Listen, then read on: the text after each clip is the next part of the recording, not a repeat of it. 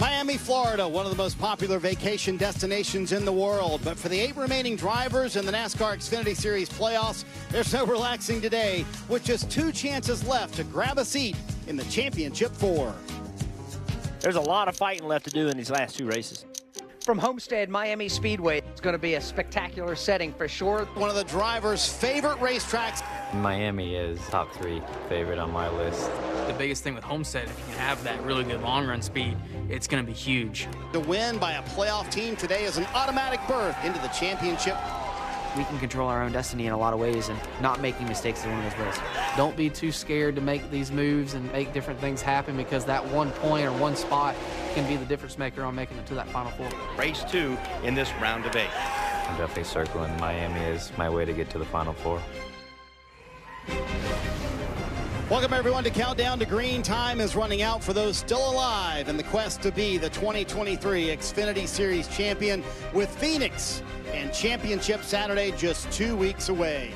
The Peacock Pit Box located in pit stall number one today at the very head end of pit road, along with Kyle Petty and the mayor, Jeff Burton. I am Marty Snyder. You know, non-playoff driver Jeff Riley Herbst won at Las Vegas last week, so nobody's locked into the championship four yet. Does that add to the sense of urgency today? If you don't have a sense of urgency coming into the day, you're not paying attention to what happens in this sport. I don't care where you are. John Hunter Nemechek, he's in pretty good shape, but a mistake today on a track where it's easy to make mistake, he could be in a position where he's got to do great things at Martinsville.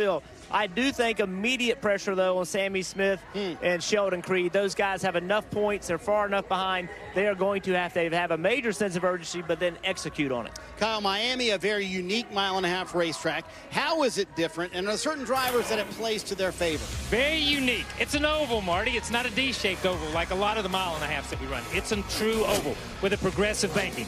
I look at it plays in the hands of Cole Custer, Sheldon Creed, and our very own Dale Jr.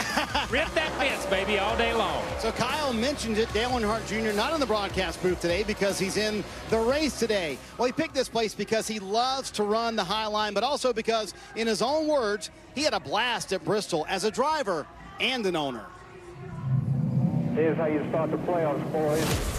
It's Bristol, baby! Come on! How cool is it that I got the battle with the boss man, Dale Jr.? Dale Earnhardt Jr. is going to lead the lap, and the crowd goes wild.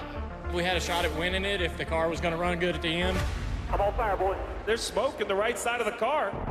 I had a blast. Justin wins. It makes me want to do more, so have some fun Homestead riding the fence. It's Bristol, baby! Let's go! As you can see there, everything but the ending went just right at Bristol. Junior, what do you see for today's race in Homestead, Miami? It's a warm one. Uh, it's slick. Man, that track was was out of hand yesterday, and I think it's just the same today. Um, you know, running in the middle afternoon, you can use the shadow of the wall up in one and two to get a little cool uh, track temp. Put the right put the right sides in the shadow uh, as the sun's setting. But down in three and four, there's, there's really not nothing to help you but the wall a little bit. Um, getting a lot of advice from a lot of drivers on what to do, and hopefully we can go out there and make it happen. Didn't qualify as well as I'd hoped. Uh, I don't know how going out first hurt her, uh, bothered the lap, but uh, I feel like the car is way better now. We practiced in the top 10, and if I can figure out how to get against that fence quick enough, uh, maybe we can make some ground up and get up there and run good. And have you helped your oldest daughter to manage expectations this time? Because she was just disappointed you didn't go out there and win. Yeah, she thinks she just should drive right to the front, like in the cartoons, and uh, win the race. But uh, hopefully, we have a good result today and finish where the car should. I think the car is a, a great race car, and I got a lot to figure out in a very short period of time. Uh, the first couple stages are pretty short, but um, and we got a, we got a lot of ground to make up starting 23rd. So it's not a, it's, it's a wide track, but maybe not as easy as the pass as some people might think.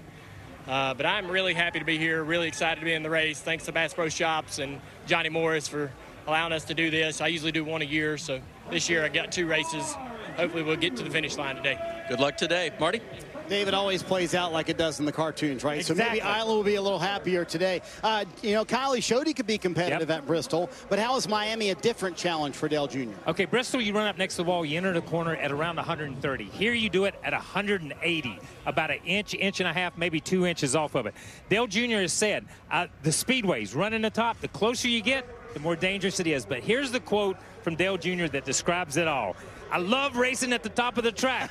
it's a gut check every lap, and it truly is when you watch him do it. After Bristol, what's his expectation? Right, going into Bristol, he was kind of like, I'm going to go have fun, go go have a good time, race against these guys, and then he's leading the race and has a problem. So now, and you heard him in his interview after Bristol, we were going to have a good run if the car was performing. Before Bristol, he was like, we're going to have a good run if I perform. Yes. It's a different mentality for Dale Jr. going into today's race. Is it me or did he pick two of the most difficult tracks, Jeff? Bristol and Miami. He picked them because he wants to run on the wall, Oh, and yeah. that's what he's going to. That's what he wanted to do at Bristol, and that's what he wants to do here. How many times are we going to hear that this weekend? Uh, among the Xfinity Series regulars last week in Las Vegas, it was an emotional first career win for hometown kid Riley Herbst. try to get that first win for myself and everybody on the Monster Energy team. We're searching for victory lane and we want to win. He's been so close so many times in so many of these races, but today he's going to make it happen. Let him go and bring it home, okay? Vegas native Riley Herbst, his first ever win in the Xfinity Series. Oh yeah, buddy. Buckle for the NASCAR Xfinity Series victory lane, man. Oh my goodness, you don't even know what this means, what this takes off my chest. I can't believe it. A huge win last weekend for Riley Herbst. So, what does getting your first win finally do for you with three races left in the season? Oh my goodness, Kim. Uh, just so much confidence, just a huge weight off my shoulders. Everybody on this Monster Energy team has been working really, really hard. Um, so it was really cool to win back at home with all my friends and family there. And hopefully we can finish out this year strong, um, cross our T's, dot our I's, and get ready for next year. And hopefully be in Phoenix next year racing for the big trophy. Riley rolls off from the seventh position. What a huge day for Riley Herbst. You know, you think about he and his family. So many people in early in Riley's career said he couldn't do it. He can't win races. He shouldn't be here. Blah blah blah blah blah. What did he do? He kept his head down, kept working, kept fighting, and when he won his first race.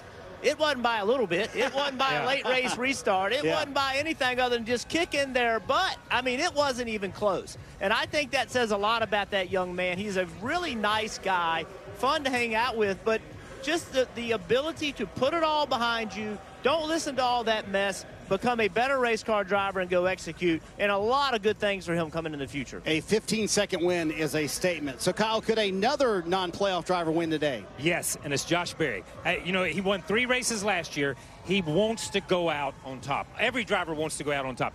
He's headed to replace a legend in the Cup Series next year, but he wants to show these guys at the Xfinity Series, Xfinity Series, that he still has what it takes to beat them on a regular basis. Replacing Kevin Harvick's pretty big shoes to fill. Let's see, two spots could lock up today, one on a win, one on points. None of the spots could be locked up today. A lot of scenarios could play out. Well, here in Miami, you can see it all. The beaches, of course, the tourism, the nightlife, South Beach and Collins Avenue. Fun fact time, Miami-Dade County welcomed almost 30 million visitors last year, and Kyle, 4 million passengers left the port of Miami on a cruise. They do that every year. All on the knew that, same boat, you? Marty. All on the same boat, baby. And since 1995, Homestead Miami Speedway has been a fixture here in South Florida as well.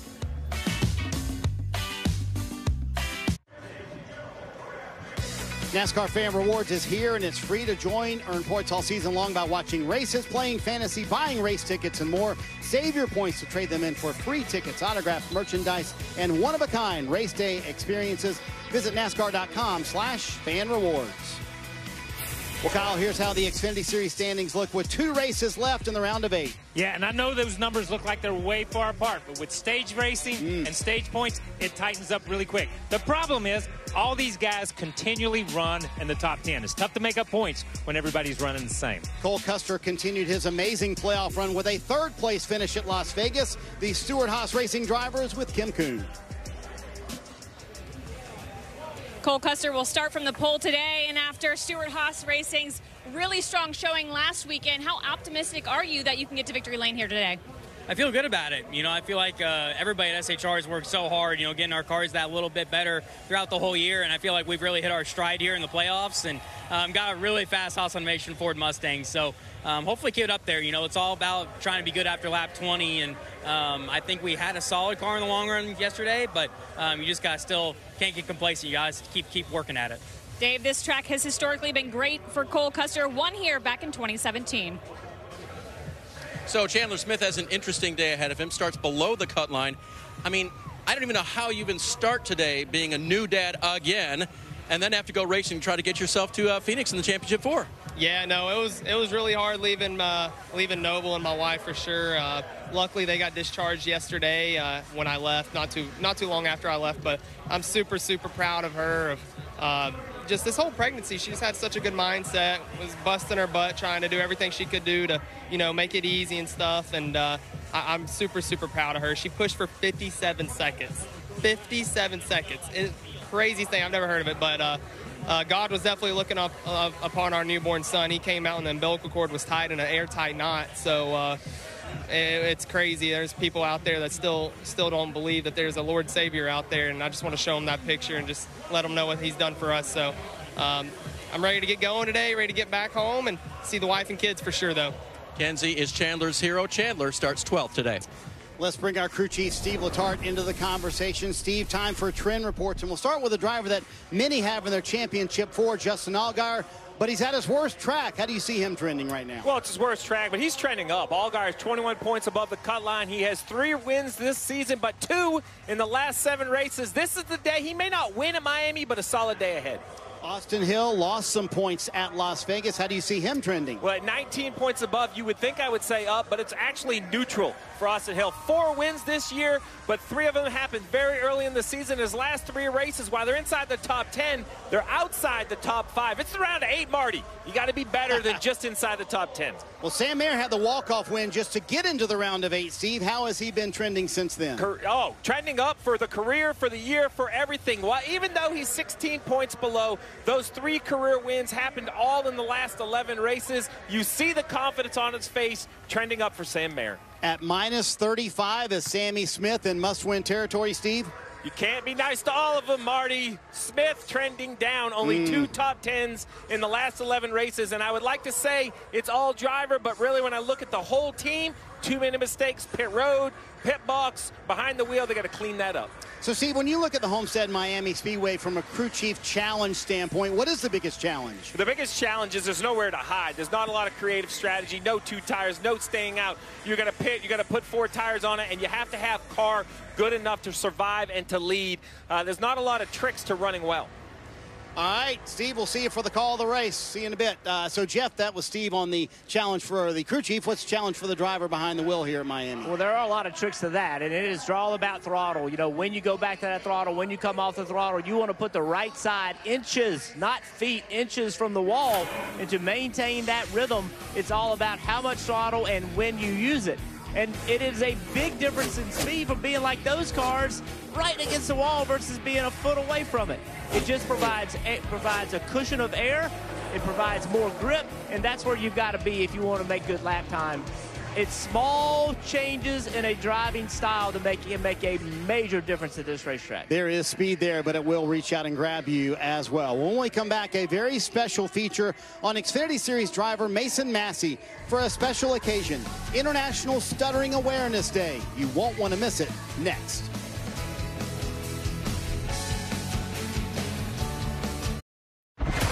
Spectacular day in South Florida. Green flags in the air. It seems in the playoffs, there's a special form of mayhem.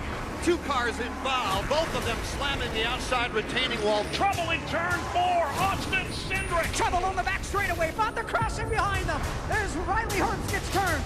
Inside wall hard. All of different racing agendas crashed and collided literally. Whoa, trouble in turn number three. One car into the wall and gets him. Turning, oh, we have a wall. We just see the 38 coming around. Fire coming out of the right front. Man, they are getting after it. A win here in Miami is going to give him a shot with the championship board. Yeah, let's go to Phoenix. Run for a championship. Marty, my hands are sweating, and I can feel the wind on my back. And what I'm feeling is urgency and intensity and a shot at that championship for it. It's all on the backs and on the shoulders of these guys.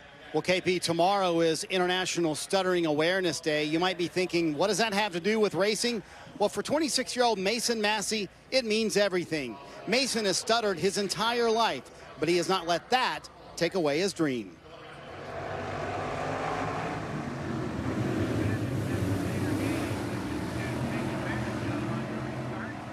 Uh, I'm a, a Mason Massey, and uh, I drive race cars. Uh, I have over 300 wins. You know, I used to count when I was younger, but I kind of started to lose count. That's racing is uh, really cruel, and life can be really cruel too. I've stuttered all my life, and um, I definitely have some people that make fun of me when I was younger, that mock me. Being mocked over and over will make you question, you know, why am I even here? What, what is my purpose? When I was younger, I, I always had a hard time uh, saying my name. It made me work harder to where everyone knew my name so I wouldn't have to say it. We all have our, uh, our challenge in, in life, and you have to make it a positive thing to uh, have a good influence on people and uh, show them that it's possible to overcome your challenges. I don't know what the future holds, but I really would like to think that uh, my future holds a lot of pages in it. And, um, and you know, I'm gonna work hard and just, and just to make sure we write those pages. Here's the thing about Mason. His dad, Mays, just told me a story about how he's paying it forward, and you're asked to do that quite a bit and encourage folks. Can you tell me the story about the medical student? Uh, I talked to him. Uh, it's probably two or three weeks ago, and uh, he was going through a tough time with medical school and all that stuff. And um, I just try to give him some words of encouragement, just help him out, and uh, that's what I do. I just I know how it is to go through all this stuff with stuttering growing up and everything, and and, and uh, I just wanted to help him out and tell him to keep chasing his dreams and just trying to put a positive message out there in the world for anybody that's going through anything. Uh, it don't matter what you're going through. Uh, I think you're still able to chase your dreams, and that's the way I've always lived by. How'd that conversation end with the guy? Uh, it was really good. It was about a, uh, like an hour and a half or so. And uh, at the end of it, we were cutting up laughing, and he was encouraged by it, and uh, he was ready to go. So hopefully he does well. It's amazing. Good luck today, Marty. The, the big news is the guy's not quitting. He listened to Mason. Mason encouraged him, and he's going to hang on and chase his dream, too.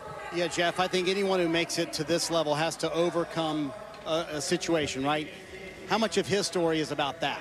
Overcoming the obstacle, no matter what it looked like. To me, it's about the courage, you know, that it takes to, to say, hey, I've got an issue, uh, not let others you know, put you down, not let others form who you are and decide I'm going to do the best I can and I'm going to make and not only for myself for others mm-hmm. and then taking time out of your day to make others lives better that's that's that's a great human I mean that is that is what we want from everybody in, on this earth but you know to have the courage to fight through adversity. None of us are perfect. We all have our issues. We got to have the courage to become better and find a way to get through those issues the best we can. Yeah, I love that quote in there where he said, "When I was younger, I had a hard time saying my name.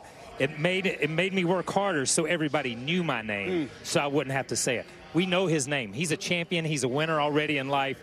that's a great, great inspirational story. I've known Mason for a long time, and back in his Bandolero days, he once let another young man win a race because he didn't want to do the post-race interview. So he has come so far, and I'm happy to report his dream was always to be in NASCAR. Today will be his 66th start in a major NASCAR Touring Series race. Way to go, Mason. When we come back, we'll hear from John Hunter Nemechek plus Dale Jr.'s in the race today. Can he lead laps like he did at Bristol? We'll discuss next.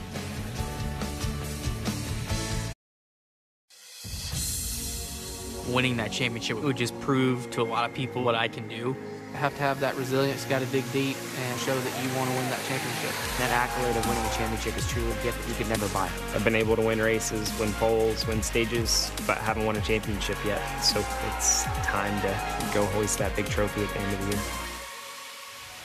Just two shots left for eight playoff drivers to lock themselves in for a shot to hoist that big trophy, as John Hunter just said there. At Phoenix in two weeks, all four seats at the table wide open. No drivers locked in yet. Although John Hunter Nemechek is close, Kim Coon.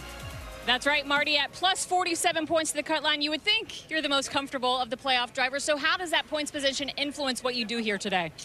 Uh, I mean, it's nice to have those points, right? But at the same time, I, am not super comfortable with where we're at. We we got to be better, and uh, we we got to get some more points today. Hopefully, if we don't win the race, we can lock in on points today, and uh, we definitely have the opportunity to do so. So my guides have given me a really fast Pye Barker Toyota GR Supra yesterday in practice. Made some changes overnight, and hopefully we can have it as fast as Xfinity 10G today. Uh, I'm looking forward to today. Hopefully, get up and rip the boards, but most of all, keep the right side clean until the end. Um, Um, you got to have it in order to win the race here. And so I think with our points position, we can play it smart and hopefully go for a really solid points day, if not a win.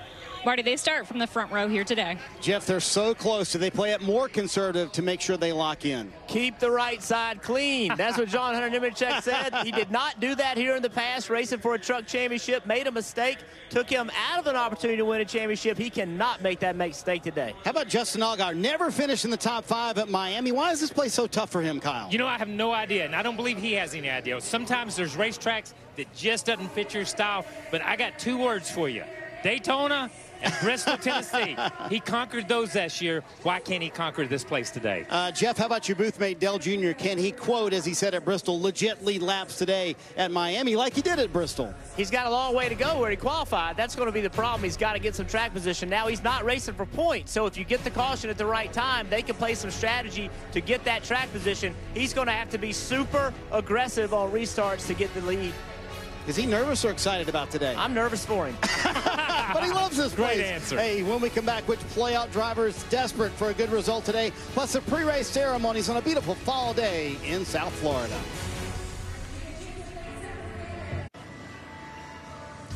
Homestead Miami Speedway, one of the driver's favorite racetracks, comes at a critical point in the season. Just two chances left to lock in a spot in the championship for and a shot to win the 2023 Xfinity Series Championship. Kyle, which playoff driver needs to capitalize today the most? Cole Custer got his first win here in the Xfinity Series. Uh, he has been the runner-up here the last two starts, and here's the kicker. He has led more laps at this racetrack than all the other playoff contenders combined. Mm. He needs to capitalize on a place that loves him as much as he loves it. I'm just curious, when you were walking through the garage area earlier, just two shots left to make the championship four, do you feel that sense of urgency from those playoff teams? No, you can't feel the sense of urgency because of the sense of pressure. The urgency doesn't get through. The pressure is overwhelming on these guys. Look at the pack grid here at Homestead Miami Speedway. Beautiful fall day. Time for today's pre-race ceremonies from Miami. Ladies and gentlemen, at this time, we ask that you please rise as you are able and remove your hats as the Olympic Heights High School Marine Corps Junior ROTC Color Guard presents our nation's colors. Here to offer today's invocation, please welcome from Marco Presbyterian Church, Pastor Scott Kearns. Please pray with me. Dear God, who made the world and everyone in it, Thank you for this day, this track, these drivers and crews, and for this South Florida weather. Thank you for the freedom to race, the skill to win, and the grace to compete. Father, we bow our heads and hearts to you because you're powerful, but we raise our prayer to you because you're listening. Would you protect these competitors and fans? We cheer so loud that we lose our voices, and it's just a glimpse of what we're made for. One day we will all, with one unified voice, cheer for you. In Jesus' name, amen. Here to perform our national anthem, please welcome the Palmetto Ridge High School Choir. Oh, say,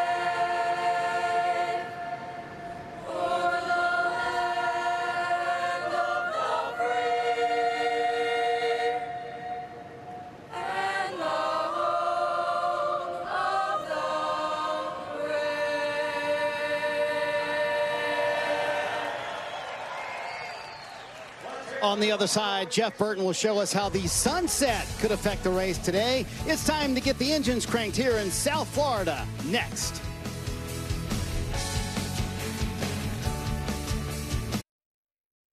There's a lot of fighting left to do in these last two races. From Homestead Miami Speedway, it's going to be a spectacular setting for sure. One of the driver's favorite racetracks. Miami is top three favorite on my list. The biggest thing with Homestead, if you can have that really good long run speed, it's going to be huge. The win by a playoff team today is an automatic berth into the championship. We can control our own destiny in a lot of ways, and not making mistakes is one of those ways. Don't be too scared to make these moves and make different things happen because that one point or one spot can be the difference maker on making it to that Final Four. Race two in this round of eight. I'm definitely circling Miami as my way to get to the Final Four. Eight drivers left, four spots open. Who wants to be the Xfinity Series champion in 2023? A win by a playoff driver today locks in their spot to Championship Saturday in two weeks. Before we get the engine started, let's head to pit road and check in with Kim Coon. Well, Marty, playoff driver Sam Mayer enters this weekend 16 points below the elimination line after just an okay showing last weekend at Vegas. So how did he prepare for this weekend knowing how important today will be? He reviewed over 10 and a half hours of race film this week. He told me he watched every Miami Xfinity race from 2017 through 2020. He wanted to look at every little variable here and what can make a difference from the driver's seat. Last year in his only Miami Xfinity start, he finished fifth. We'll see if all that studying paid off, Dave. Came for the 21 of Austin Hill. He is plus 19 to the cut line, so a good spot to be in. What else is on his side? A good weekend so far. Crew Chief Andy Street told me this is one of the best weekends we've started so far this year. They qualified fourth, they had speed in practice, and don't forget, Austin Hill is a former winner here, 2019, in the NASCAR Craftsman Truck Series. Marty? Well, Dave, there may be no track on the NASCAR calendar that is more high risk, high reward than Homestead Miami Speedway. So, Kyle, when drivers say that, what do they mean? They mean you get up on the boards, man, ripping the fence, and there's speed up there. The Yeah. reward is speed. The danger is if you get up there and you make a mistake, you'll be watching Phoenix out on the racetrack with the other guys. Just Mm. not a shot at the championship. The guy that rips the boards the best today gets his ticket punched to Phoenix. So, give me a few drivers who balance that art of running the wall without hitting it very well. I said it before. Cole Custer, Sheldon Creed, Dale Jr. But I do believe this too, and Jeff Burton said it earlier. These young drivers with no experience, they need to get up there and learn how to rip those boards so that when they come back here later, but there may be a guy that pops out of that group. Yeah, and, and Sammy Smith, you know, Steve mentioned Yes. earlier, he is in a must-win situation, but you can't force things here at Miami. Time for race number two in the round of eight. Let's get the engines cranked in Miami. And now, race fans, here to say the most famous words in motorsports, please welcome the Executive Director of the Florida Fish and Wildlife Commission, Roger Young. Drivers, start your engines! Good. Thank you, fired up. Sounds good. Whenever you're ready here, you can fire up. Are you just thinking to check in with nobody today or what? It's hard to get drivers to agree on almost anything, but one thing almost all say is this is one of their favorite racetracks. Why is that? Well, it starts with this asphalt. Look how rough it is. This stuff just rips the rubber right off the tires. That makes the car drive really bad late in the run, and every driver thinks they're the best. Make it drive bad, that's an advantage for me. The other thing is, this is 18 degrees here. Right here in this groove in between the seams is 19. This is 20 degrees. The more you climb up this banking, the more banking gains. That makes more grip, that makes your car drive better, and then it's this guy right here. Everybody wants to be right against it, not here. You want to be right against it, get even maybe leaving some marks, scuff it up a little bit. That's where the speed is, but that's where the danger is. Going green when we come back. Just south of the skyline of Miami. It's the NASCAR Xfinity Series playoffs from Homestead Miami Speedway, and the contender boats 300. Dale Jr. has run a race already, but loves the fact that you can run right against the wall when you come to Homestead Miami, and he's told us about the art of running the fence. The walls at Homestead Miami Speedway are like a hurricane. The closer you get to the wall, the more dangerous it becomes. Sideways, yeah. Founded by Ralph Sanchez back in 1993 as an effort to rebuild Homestead after Hurricane Andrew, this track has been just that. a rapidly rotating storm system. But for those who have an eye for success here at Homestead Miami, they need to practice the art of the high line, Blaney bounces off the safer area. or more commonly known as ripping the fence. He's running the wall. He's hauling ass. I cannot figure out with my feet how to go back without hitting the wall. I love racing at the top of the racetrack. It's a gut check every lap. To look deep into the corner and floor it, sailing the car right up against the letters on the wall. I'm going slow down so I didn't hit the wall. Dirt car racers have thrived on the speed gains inches from the wall. Stewart, Look at Stewart drive that car in. Wow. Edwards, Carl Edwards was checked out. Reddick, Larson Got an 8.1 second lead. have all shaved the wall en route to victory here. Miami, baby. The opportunity to go topside Coming outside. is always there. Now to the outside. Here comes Logano. The risk and reward comparison will be heavy. We're in the wall hard here. It's all throttle control. He had great throttle control earlier this year. Normally only runs one race, but earlier this year, Bristol was impressive.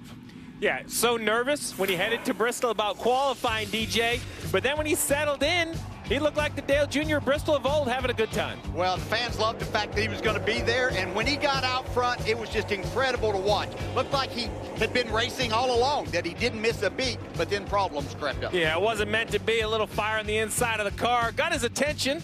I can assure you he told us about it, even burned his fire suit a little bit. But in the end, a ride to victory lane as car owner. So it was a good time. Let's check in with our old buddy down there. Hey, Junior, it's your coworkers up at the booth. You got a copy? Yes, sir. Well, man, we normally see you once a year. This year you added Miami to the list as well. What makes this track so fun that you added it to your schedule? It's really hard. Um, it's slick, worn out. Got to run all over the place. You, obviously, we talk about running the fence all the time, but you might have to look around for speed other ways. But it's just a track. I've never been that great here. I definitely love running the fence, but hard not to come here when you get an opportunity. It's one of the one of the fun mile and a half with a lot of off throttle, and you're chasing this race car all day. So, Junior's DJ, uh, not much practice yesterday, and even though you're one of the best ever at running up against the fence, how long will it take you to get comfortable to go up there where all the speed is made? Yeah, I think that's that's the that's the question. Um, yesterday I was losing practice and certainly didn't want to hit the wall in practice. Didn't want to get on television that way. So um, I don't want to get on television that way today. And watching last year's race, it's easy to knock the right rear tire off the car. The tire, you know, can get flat and. You don't want to go, go down a set of tires in this race. Your race is over with if you have to come to pit road to change the rights under green for an unscheduled stop. So it's you know it's a tough balance of running up there if you can make the speed and wanting to make the speed versus you know getting yourself behind on tires real quick. All right, thanks for talking with us. You have a great day. Hey, and I appreciate you running another race so I can get in the booth one day. Have a good time. Man, I love you up there, buddy. Hope y'all have fun. That was a Hall of Famer to Hall of Famer conversation we just had right there. Marty, it's going to be a challenge, though. Dale Jr. a little behind in qualifying.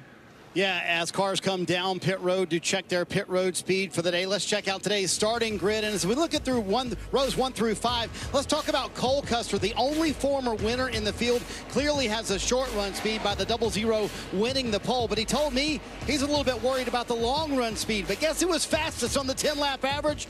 Cole Custer. He clearly has the car to beat. He could get his first win in the playoffs and advance to the championship four this afternoon, Kim. Let's go a little further in the field. Chandler Smith starting the outside of row six. He has been very consistent in the playoffs, finishing 12th or better in all four races, including three top five finishes. Then Sam Mayer, he's in row seven. Only one start here, but it was a fifth place finish. Needs a really good points day. And Sam considers Homestead Miami Speedway one of his top two favorite racetracks, Dave. A little further down, we'll see that driver owner again, Dale Earnhardt Jr., qualified 23rd. Watch him from there, though, because remember, when he had that good run at Bristol and got to the lead, he came from 15th starting position. So as for Mason Massey, talk to him early on in the show today. What can he do from 35th?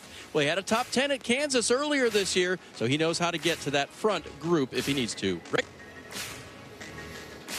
That is well, we've correct. talked a lot.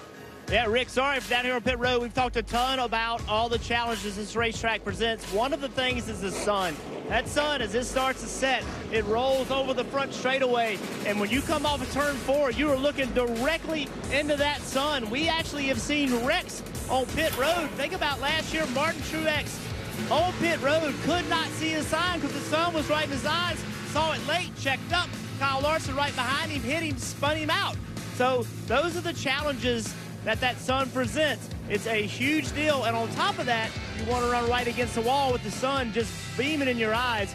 Just one more thing to throw at the drivers.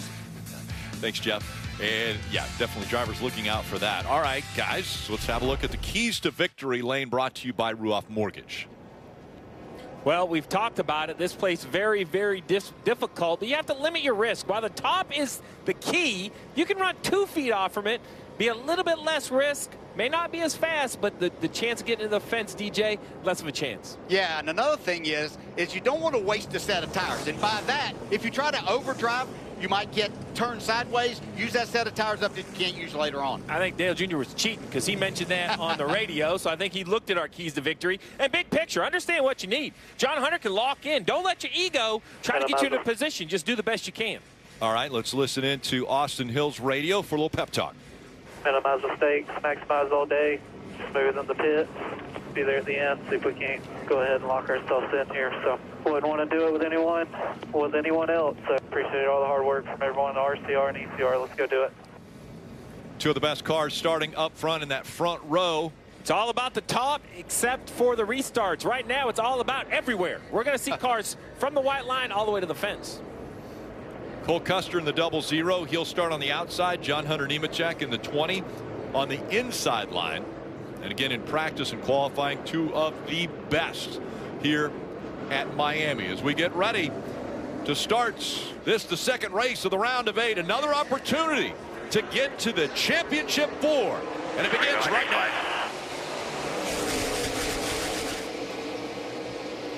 A little bit of a shove there from Allgaier into the back of the 20. Got him a little bit loose. Custer's able to shoot out in front. And here comes the 21 of Austin Hill. Yeah, that inside line is always hard to get going anyway. You're wanting to hit the gas so hard, but there just seems to be a little less grip down there. Diving into turn three. Side by side for second. And two and three wide behind them for position.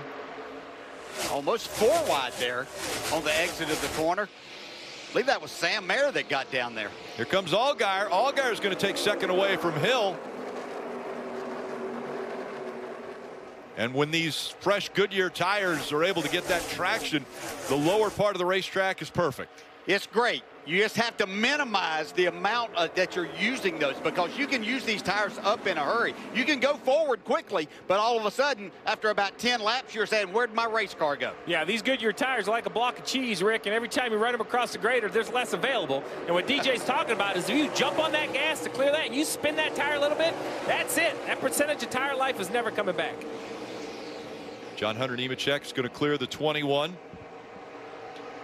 Austin Hill now running back in the third spot. Here comes Josh Berry in the eight as he has momentum. Dale Jr. running 19th. He's going to run where they're not. And that's all he can do right now is just be patient around the bottom. You saw he got a little close to the back of the 10. Looked like he got a little aero tight. At the top of the screen, you see the double zero continues to lead. Allgaier second as we see a little battle back here for fourth between the 20, the 8, and the 21.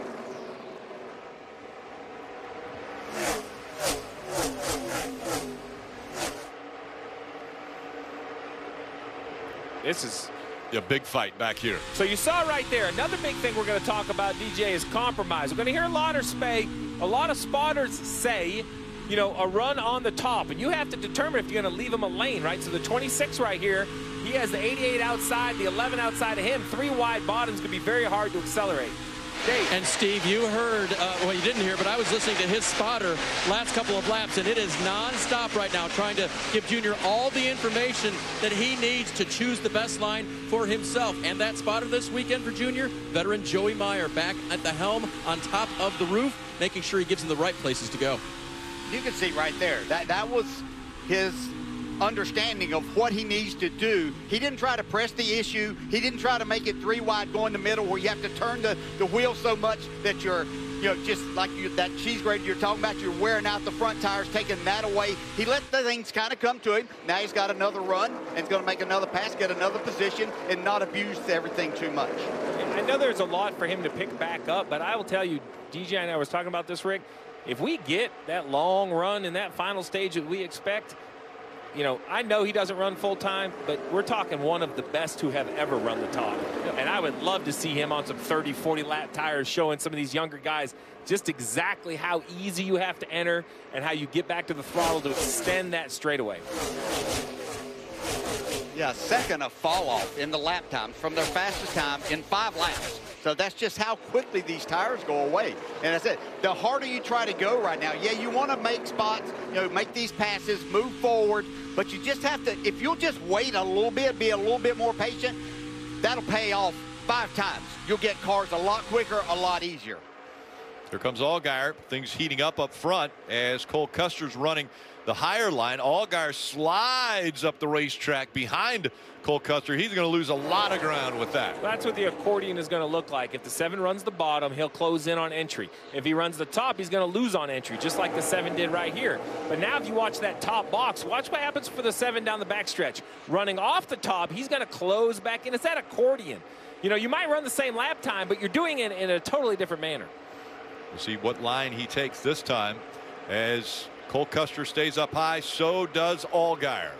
Yeah, just go right in his tracks right there uh, for a little bit till you can get to his bumper and see if he can make a mistake. This is impressive for Justin Allgaier right here. This has not been a good track for him. He needs just a solid run all day, get himself, find himself in a position late to really do something. He's never had a top five here. So winning is, yeah, even though that's why you come here, uh, just running and having a solid day is what he's at. So I picked on the man to our left because he was the first ever winner at the Miami racetrack, but it didn't look like this. It looked like Indianapolis. So shocker, uh, you know, you want it, DJ. But the question I have is, have you ever had that track that just didn't suit you? Like no top fives for all Allgaier. Is it just because you don't have the feel, or what do you think it really is? As a crew chief, I've walked in many racetrack and lost. I just didn't know if it worked for a driver. Yeah, it is exactly like that, and I had more than one actually, if believe that. But uh, yeah, you find that that you just don't ever get that feel that you need to find out you know what it takes to get around here. You think you know, but until that happens. So uh, yeah, there are just those places out there uh, that that's going to happen. Marty.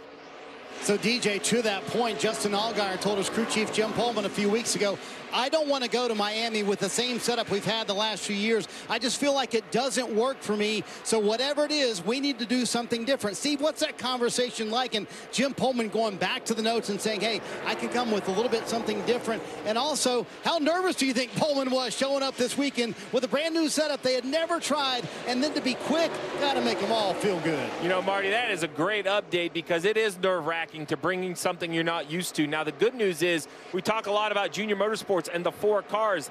That's where four cars really have an advantage. The amount of notes that Jim can look through to decide what other drivers have found for success here, maybe what he himself in his career has found or worked on other teams that worked.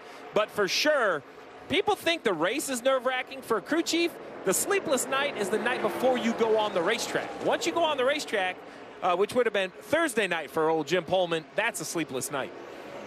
Did you ever ask one of your drivers to suggest that? Because I had Todd Parrott ask me one time when I suggested we do something different. He was like, okay, you got any ideas? it's like, what are we looking for here? Give me a direction. I was Jimmie Johnson to check and out his teammate. If I want to try anything different, I just walk next door and see what they were doing. you see right here, three wide, so that's good awareness and communication between the 88 and the spotter to allow the 48 to get there in the middle. You don't want to give up the spot, but you didn't have both lanes to slide up on exit. Kim.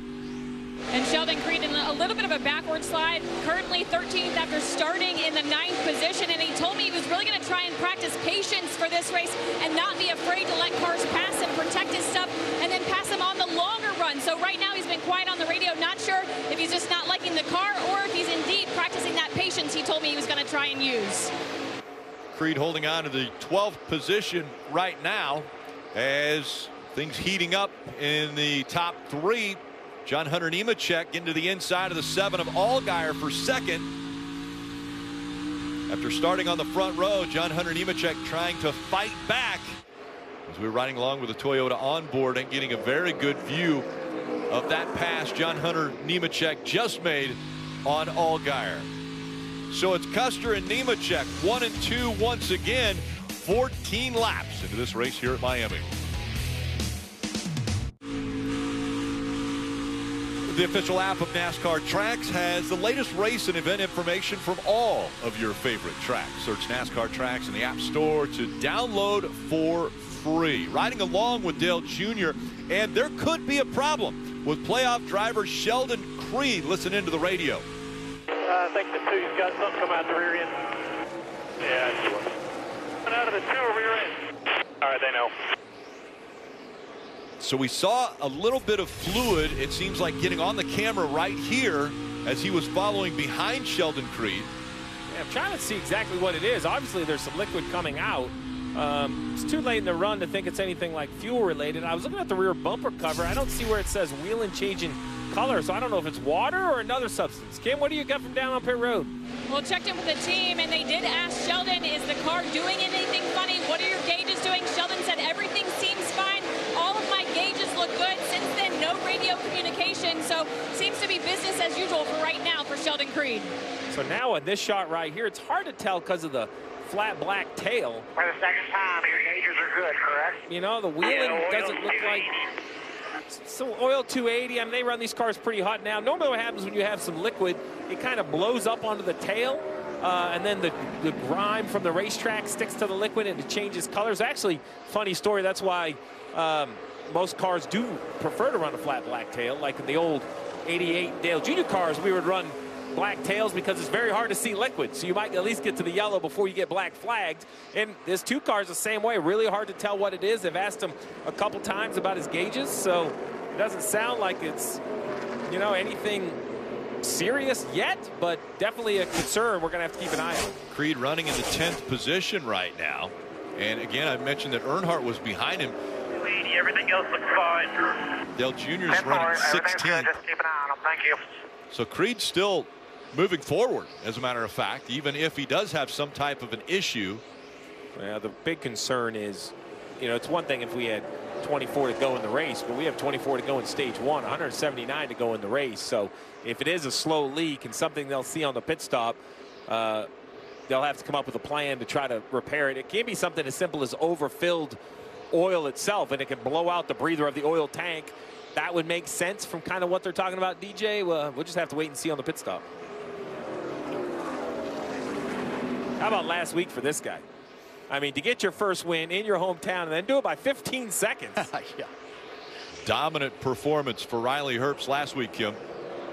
Yeah, and so what's their goal now? Crew Chief Davin Restivo told days for the next three races. They want to keep that momentum of confidence because that sets the tone for where they start the next season. Riley told me, yes, their car is good here. Probably not quite as good as it was last weekend at Vegas, but they will be competitive. Currently running in the seventh position. Marty, though, they are having a little bit of radio trouble on that 98 car. Kim, just three races left for Josh Berry in the Xfinity Series before he replaces Kevin Harvick in the Cup Series at Stewart Haas Racing. And you look at the next two racetracks as a shot for Berry, who has not won this year, to be able to maybe get that win. Miami, always so good at the mile and a half, but Martinsville, next weekday, that's the one they have circled. Berry has already won there, and he is so good at the short tracks. Parker Kligerman hasn't run an Xfinity race here in 10 years. He told me, I know what the truck feels like when it taps the wall. I know what the cup car feels like when it taps the wall. Back when I raced, they didn't have these composite bodies. So I got to be a little careful as I get right up there and learn how to run the high line here this afternoon. Kligerman running in that 15th spot right now, just in front of Dale Earnhardt Jr. Cole Custer's out front, has a one and a half second lead, a little slideways there out of the two of Sheldon Creed coming out for four.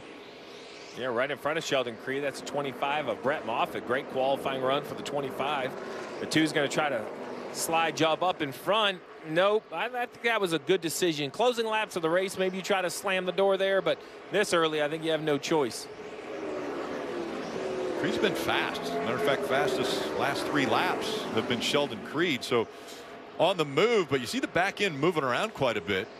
Yeah, but he's doing what you have to do here to, to be successful as I've watched him. And he really worked at this yesterday in practice. And, and that was slowing his entry down just a little bit and then picking up the throttle quickly and driving it around the fence. And he, it seems to be that he's catching on. Now he's getting a little bit more time here in race conditions. Uh, it's whenever he goes down here that it makes things a little more difficult. Saw just a moment ago, the car loose on entry. Now, you could give the wall a little more room than that on the entry, but it is nice. I mean, to, to do it properly, and you know, we'll watch tomorrow some of the very best. Uh, and Tyler Reddick and, and Kyle Larson certainly are the two that come to mind at, at most. You know, they're right against that wall on the entry. That's how to utilize everything about running the wall. The very best is to do it on the, the very start of the corner. That's the difference. Most drivers, especially on Sunday, half or majority of the drivers today, they can get right up against the wall in the middle. And then some can figure it out on exit. It's that first 500 feet of the corner that there is high, and then there's Kyle Larson high. And where they drive in literally, um, and if we go on board, you'll see like the, the wall almost turns back to your right. You have to almost steer to your right a little bit just to go left. It is an odd sensation to try to figure out a way to stay connected to the wall. Like right there, you see that the 25 of Moffitt almost turns to the right at the end of the straightaway to never leave that wall. This time the two's going to be able to slide him, but is the 25 going to cross him over? Yeah, that's a good move right there. That's what you have to do. Uh, now, that makes the tires a little bit mad when you slide across that much, but he accomplished what he needs to. I think he's faster than the 25 here. So, yeah, and he didn't really cut him off. He didn't make anybody mad. He made his tires mad for a second, but not the competitor. We can't make him mad. Uh, those two, Creed was in Moffitt's wedding party when Moffitt got married back in 2021. As we see, Allgaier has fallen back to that third spot. Nemechek was able to get by him and Allgaier about four seconds back from race leader Custer now, Marty. Yeah, good point, Rick. It wasn't 15 laps ago. Allgaier was contesting for the lead with Cole Custer. So what's going on? Three on the seam, arc if you can. I already told you, man. I'm I'm wrecking loose on entry. No way I can arc it more. Be I would love to. I am so loose doing that, though. How about your brakes? Try them. No help at all.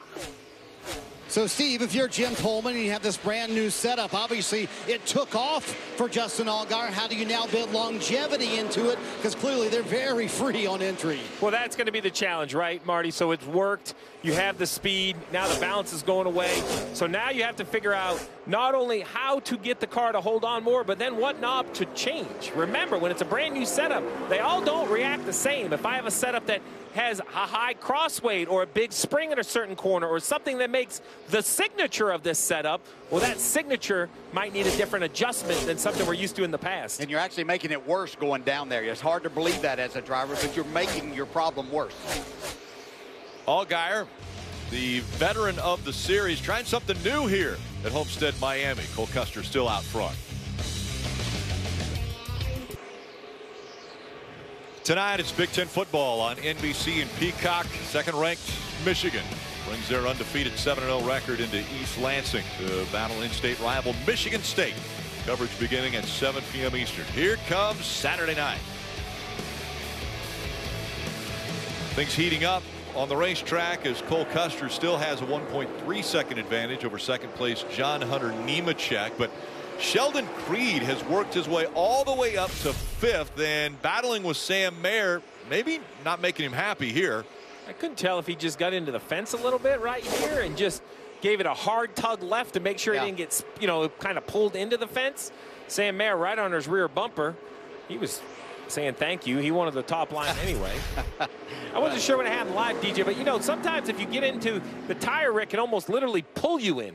Uh, kind of like dropping a tire off the side of the road. You got to pull harder to get back on the asphalt. You guys both said that, you know, this asphalt can make these tires angry. Well, what about those two marks that we saw Yeah. as he came off? That, that can't make these tires too happy. Not at all. And he's paying the price for it right now because he's not, he doesn't have the speed that he had before that big slide off of turn two. How about it, Kim? And for Sam Mayer, we're seeing him jockeying for position back and forth with Sheldon Creed. And his spotter, Kevin Hamlin, has come on the radio multiple times and reminded him to keep his rhythm. Do not race the other guys, race the racetrack. He said if you get too dicey with the two of Sheldon Creed, it's going to allow the guys behind you to catch up. So again, Kevin Hamlin, the spotter, a veteran spotter, playing a key role. We've documented it throughout the rest of the season about how crucial he is to Sam and Sam's headspace throughout the course of a race. When we talk about tire fall off, is we have just eight laps to go in stage one, and those tires getting angry as we see Sam Mayer even getting a little bit loose there and trying to get some grip. They're running 37 second laps now. They were running under 34 seconds to start this race. So you think about that. Over three seconds of loss per lap that these tires have fallen off. But last lap, this one car and the two car who are running right there, been battling, they were the two fastest cars there uh, in this front group. And so they were actually faster than what the leaders are at this point in time. One of Sam Mayer looks like he tagged the wall also here just moments ago. Right there. So easy. Oh, that's yeah. So easy to drive, Steve. Is that what you're talking about? No, so easy to touch the fence. It's actually those composite bodies that we were hearing about earlier. That's made a big difference because if that was an old steel body, you can only do it a couple times and you knock the sheet metal in on the right rear tire, and that's normally the end of your day. Right up against the wall, these guys continue to run as the laps wind down. Cole Custer, now it's just under a second advantage that he has on John Hunter Nemechek. Points paid at the end of the stages. And for Allgaier, who's right in front of Sam Mayer, he's hoping for six smooth laps because both of those cars are running him down. The double zero, so far so good. He's led every lap of the race. And the problem, if they are able to get to uh, the seven of Allgaier, because he can't enter the corner high, they might get to the outside of him and make that pass, even though Justin has moved up the racetrack, trying to take that uh, away from them right now. And this is where you get a little frustrated is the right word. So normally we talk about lap traffic. Well, the lap traffic's running the top. That's kind of forcing uh, the leader off the top. And this is that battle you were talking about, the seven of Allgaier, and the one has got right to his rear bumper. Yeah, look how much more speed he has, right? He got back in the throttle there. Cole Custer cannot be happy right now with the 44 of Jeffrey Earnhardt, and we're seeing fire coming out of the 28s on pit road. McLaughlin uh, having to go to the safety crew there. Cole Custer coming up on four laps to go in this stage. Marty. Cole Custer would love to lead all of those laps, but he also sees John Hunter Nemechek catching him, and he asks the team why. We know what he's doing different than me. Copy. I haven't seen anything really yet. Exact same line as you in one and two, and very similar in three and four. I'll let you know. I see that he does different. It looks like he rolls a little more speed into three. Other than that, I don't see much. So, DJ, how sensitive is Homestead Miami and getting close to the wall? We know the speed is there. We also know the risk is there. Yeah, it really is. And, of course, both of these drivers, they, they don't seem to be challenging quite as much. Um, but when you see someone in your mirror catching you, uh, you want to know what they're doing. Is there something that I can do to make things a little bit better? So, you know, this is the end of stage one. Uh, make the most. I know Cole Custer wants all 10 of those points that he can get. Uh, you know, he might take all of that away with the win this afternoon, so just be careful. Part of the big four as we see laps being turned at about 37 flat for Sam Mayer, but John Hunter Nemechek over 38 seconds the last time by, so a second slower. Yeah, that lap by Sam Mayer was unbelievable. He caught the seven and kind of went right by him, where the two is kind of got stuck behind the seven. Now the one's in traffic. Yeah, and, and we've seen the double zero and the 20 of Cole Custer and John Hunter Nemechek. They are not challenging the wall right now. They're out front. They don't have to get up there and put themselves in that position as we see Sheldon Creed take that uh, fourth spot away from Justin Allgaier. Allgaier decides to cross him back over. We'll see if he can do the same move to Sheldon Creed as they go into turn three. Now he's going to make a big run down in here because Creed gets out of the throttle. This is what you do up top. You get out early, but get a big run on the exit. Allgaier not able to get back into the gases quickly. And so Creed and Moffitt go by. Yeah, it's two points in one corner. That's not what Allgaier wanted to see at all. Not that he had a lot of options. And the double zero's thinking, I got about a mile left in this lap. And It's Sam Mayer got right by the 20. We, you just mentioned a 37 flat. Just watch this one car right here. I know he's probably too far back, but this last corner can be all you need to have ultimate optimism for the race ahead. Watch the one put it right on the fence, the double zero running down the lane. I mean, he's going to close in 20 car lengths in the last set of corners. Coming out of four to end stage one, it's Cole Custer. He's going to grab that stage win. Fifth stage win already this season. For Cole Custer, again, this is the side of his first race win in the Xfinity Series. Riley Herbst, Austin Hill, Kaz Grala, and Daniel Hemric rounding out the top 10. So Custer, while setting a blistering pace out on the racetrack, the 28 of CJ McLaughlin having fire issues on pit road.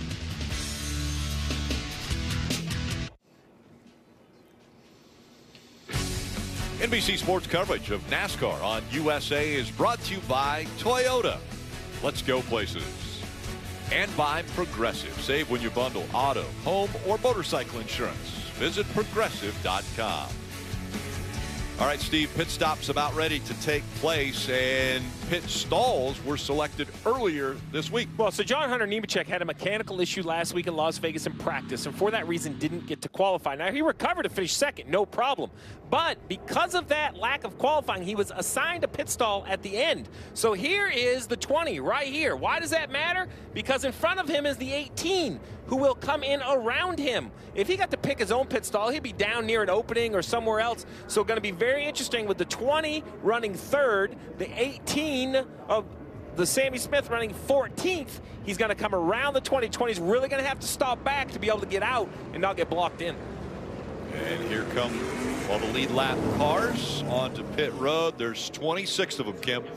including Sheldon Creed. He said he was too free, lacked lateral grip. Then once he bumped the wall, he said he got tighter.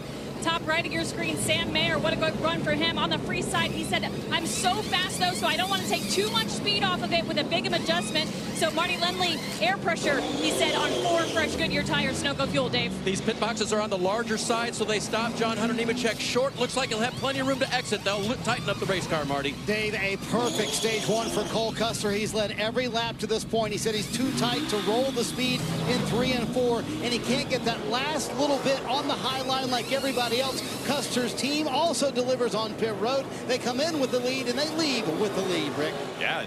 Sheldon Creed, he's been making some moves on the racetrack. Well, his team also making some moves. Gained a spot there.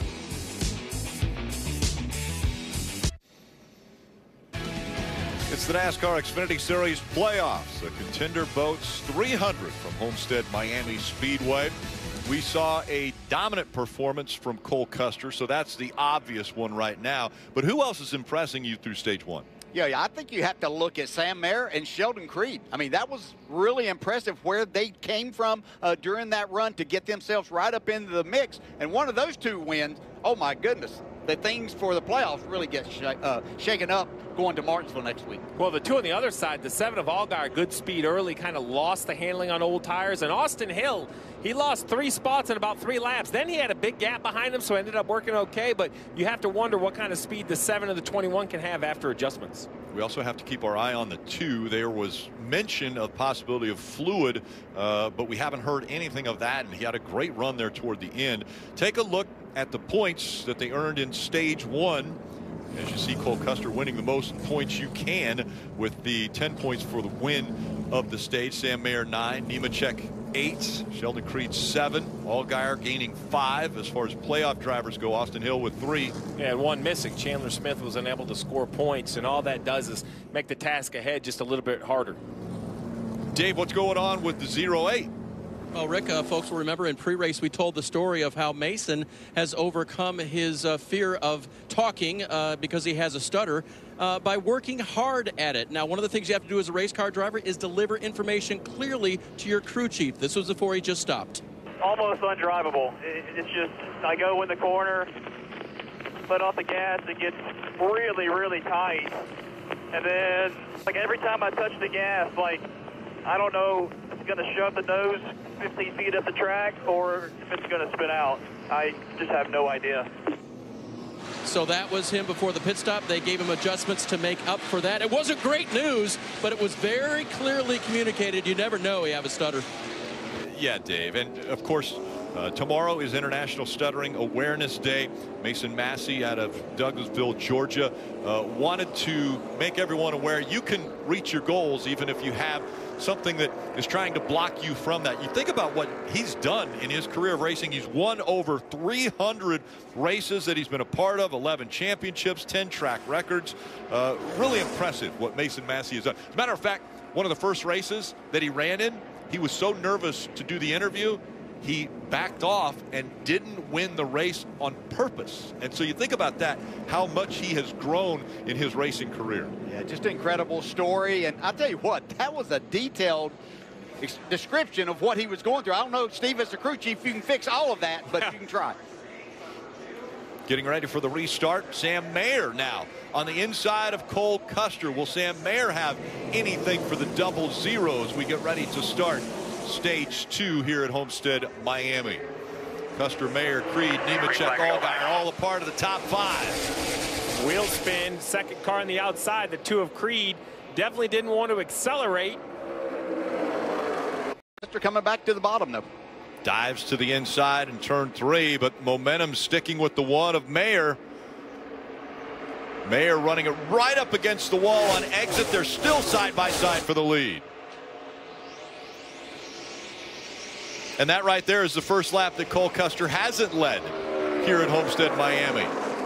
Mayer was in front of him by two one hundredths of a second. Now Cole Custer back out front. And you need to be very careful here. I know you want to lead this race, but we've said it the whole first stage.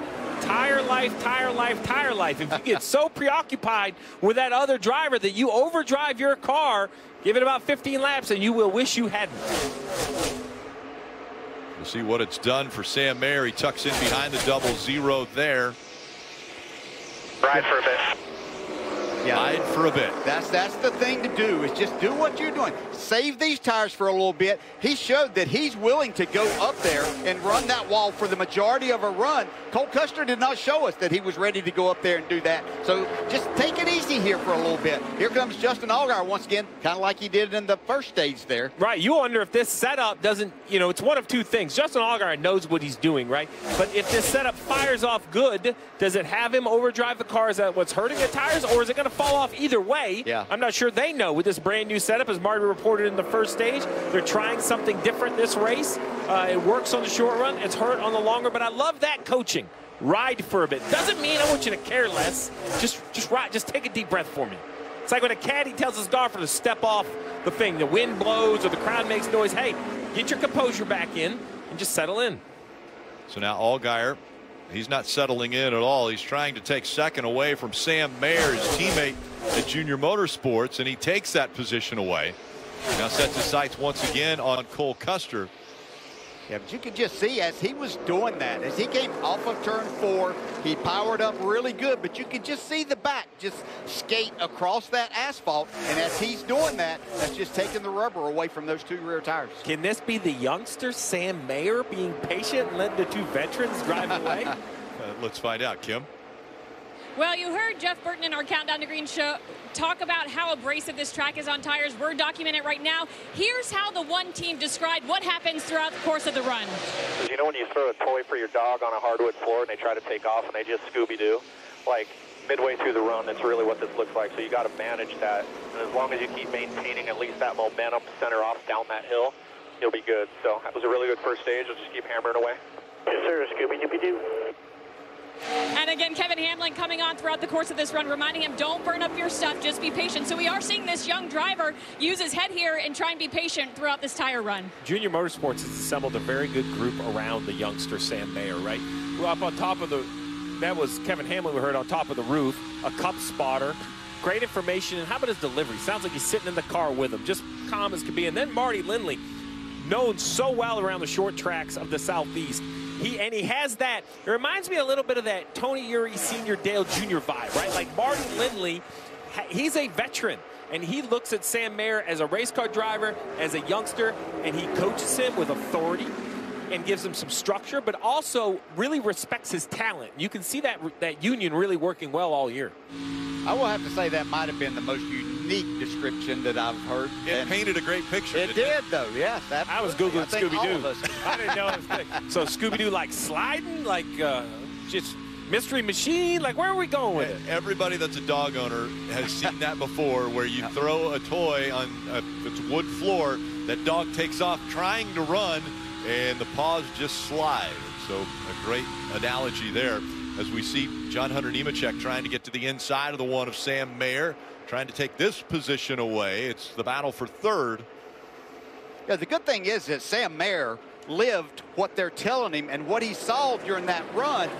That was his car. Wasn't watching someone else. He saw what his car is capable of that could have him the lead towards the end of this stage. Uh, and then who knows you know, what might happen at the end of the race. So it's not something they're having to sell to him. I feel like he's almost goading the 20 into running behind Yeah, alone. yeah. No, no, no, go down there. Burn your tires up a little bit. I'm just, because watch him. He gives him Yeah. the line. He gasses it up through the middle right here, just enough to try to fill the hole. The 20's going to slide up this time. The one's going to allow him in, but, you know, it's almost like he's doing it with a smile. Well, a lot of confidence from the young Sam Mayer now at just 20 years old, able to get to victory lane three times uh, and has been one of the drivers that has had so much momentum. But John Hunter Nemechek, he knows how to find victory lane. Already seven wins for Nemechek on the 2023 season. But it's Cole Custer who's out front here in Miami. With nearly 6,000 stores and over 17,000 auto care centers across the country, Napa has America's largest network of parts and care. Here to be the fuel that keeps you firing on all cylinders. Right now at Napa, get a 5-quart jug of Napa full synthetic motor oil for only $19.99. Or claim a prepaid $5 Visa card when you buy any Napa Gold air filter or Napa EnviroShield cabin air filter.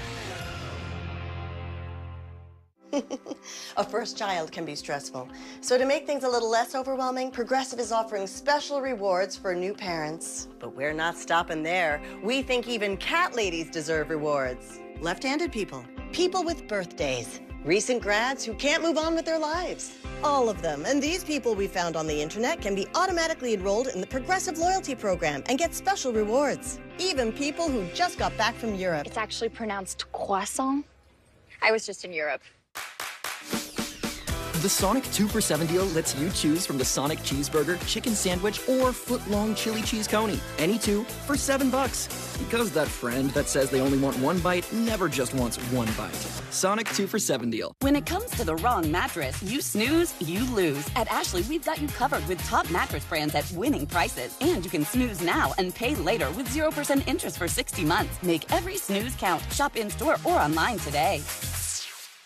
I watched my first race yesterday. You're on the team, kid. It's orientation day. Hey, new guy, let's get you up to speed. Lunchtime.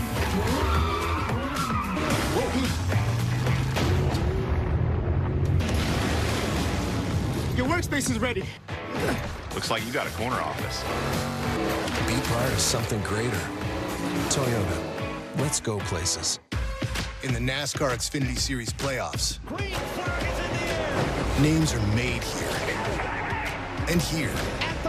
And definitely here. But with the championship on the line, your name can only take you so far. A will to win, a hunger for speed, and a whole lot of attitude. That's how to see your name in bright lights. The NASCAR Xfinity Series playoffs. You can represent your favorite driver during the playoffs and take advantage of amazing deals at the NASCAR shop. Check out the greatest selection of t-shirts, hats, die casts, and much, much more. It's at NASCAR.com slash shop. Cole Custer out to a eight tenth of a second lead over Allgaier now, who's running in that second spot. John Hunter Nemechek is third. Sam Mayer fourth. And Riley Herbst, last week's winner, is running in the top five.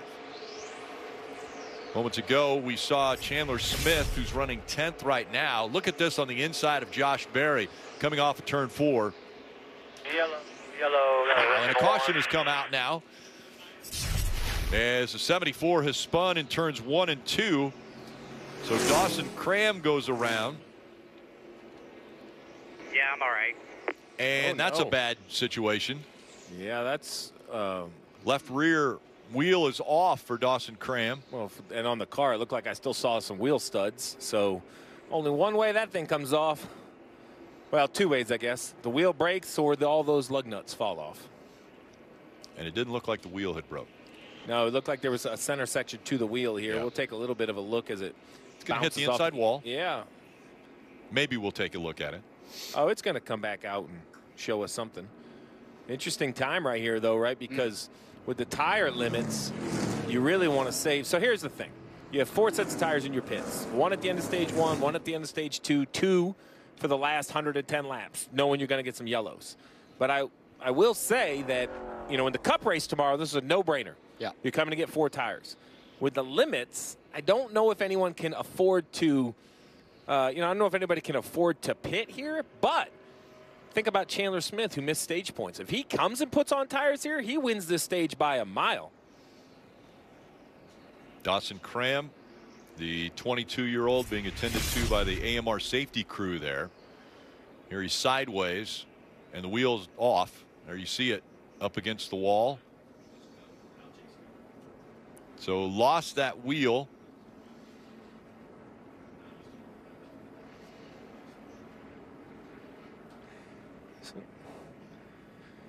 We'll see. I think pit road is open this time. Like I said, I just don't think the leaders really. I mean, it would Can't. be man. I don't think you could burn a set now. But will a Chandler Smith? You know, will somebody gamble and say, you know what?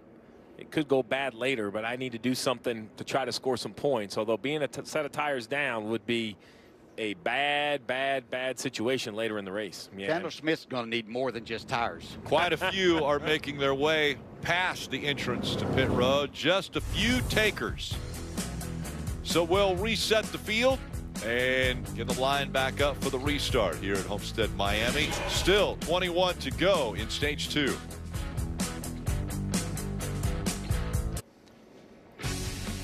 NBC Sports coverage of NASCAR on USA is brought to you by Credit One Bank, a credit card company. Getting ready for the choose and one to go before the restart here. That looks like they're going to be restarting with 18 laps to go in stage two. Currently, Dale Earnhardt Jr. running in the 14th spot. Let's dial him up on the radio seat. Hey, Junior, it's the booth. You got a copy? Yes, sir. All right, well, first things first, you're coming to one to go in the choose, so don't let me talk over that, but we're listening in. Give us a little update on how the race has been. Hold on, let my spotter tell me how many he's going to pick the outside, and I'll talk to you right after we make that decision. All right, well, let's listen in. This is Joey Meyer on top of the roof, probably going to count off. All right, lane leader outside. One, two, three, four, five, six, seven. There you go. Come on. All right, that was good to listen to. Give us a quick update before green. Well, we fired off really good at the start of the race, moving forward pretty good. Real happy with the car. Then I got a little bit tight, and uh, we made some adjustments to try to make our car better, and I think uh, we need to undo those. But right now, fight turn in the middle of both ends. You know, when you fight turn at a low grip track, you're going to be in trouble. You kind of got to hold pace here. We got to hold our track as best we can for the next 20 laps here. Get another adjustment on this car, so we can't make better for the end. All right, now remember, restart on old tires here. Nice and easy. Don't light them things up. Sounded good, Joey. No chance I don't spin the tires. Thanks to Bass Pro Shop. Johnny Morris was on the Dale Jr. download this week on Tuesday. He's on the hood of this car. Longtime supporter of Dale's. And to be quite honest, just a huge supporter of NASCAR. Johnny, if you're listening, thanks for everything you do for NASCAR and uh, giving us this great view on the 88. You know what was fun? Uh, they shot a piece uh, with Isla fishing. Uh, so Dale Jr., Dale and Amy's oldest daughter, Isla, out fishing. It did feel so good. excited. It did feel good to tell him what to do one more time. Don't spin those tires. and he said, not a chance. Getting ready for the restart here. It'll be 18 to go in stage two. Justin Allgaier getting into the back. He had a good run there. Cole Custer couldn't get his up to speed. Allgaier had a good run, uh, but then got hit in the back. Look at this. Chaos through one and two. They are everywhere. So John Hunter Nemechek said, thank you, boys. He was third in line, and the first two took that outside lane, and here John Hunter is leading the race. By two car lengths right now as Sam Mayer in the one using that low line trying to clear the double zero of Cole Custer's not going to Oh. make that complete.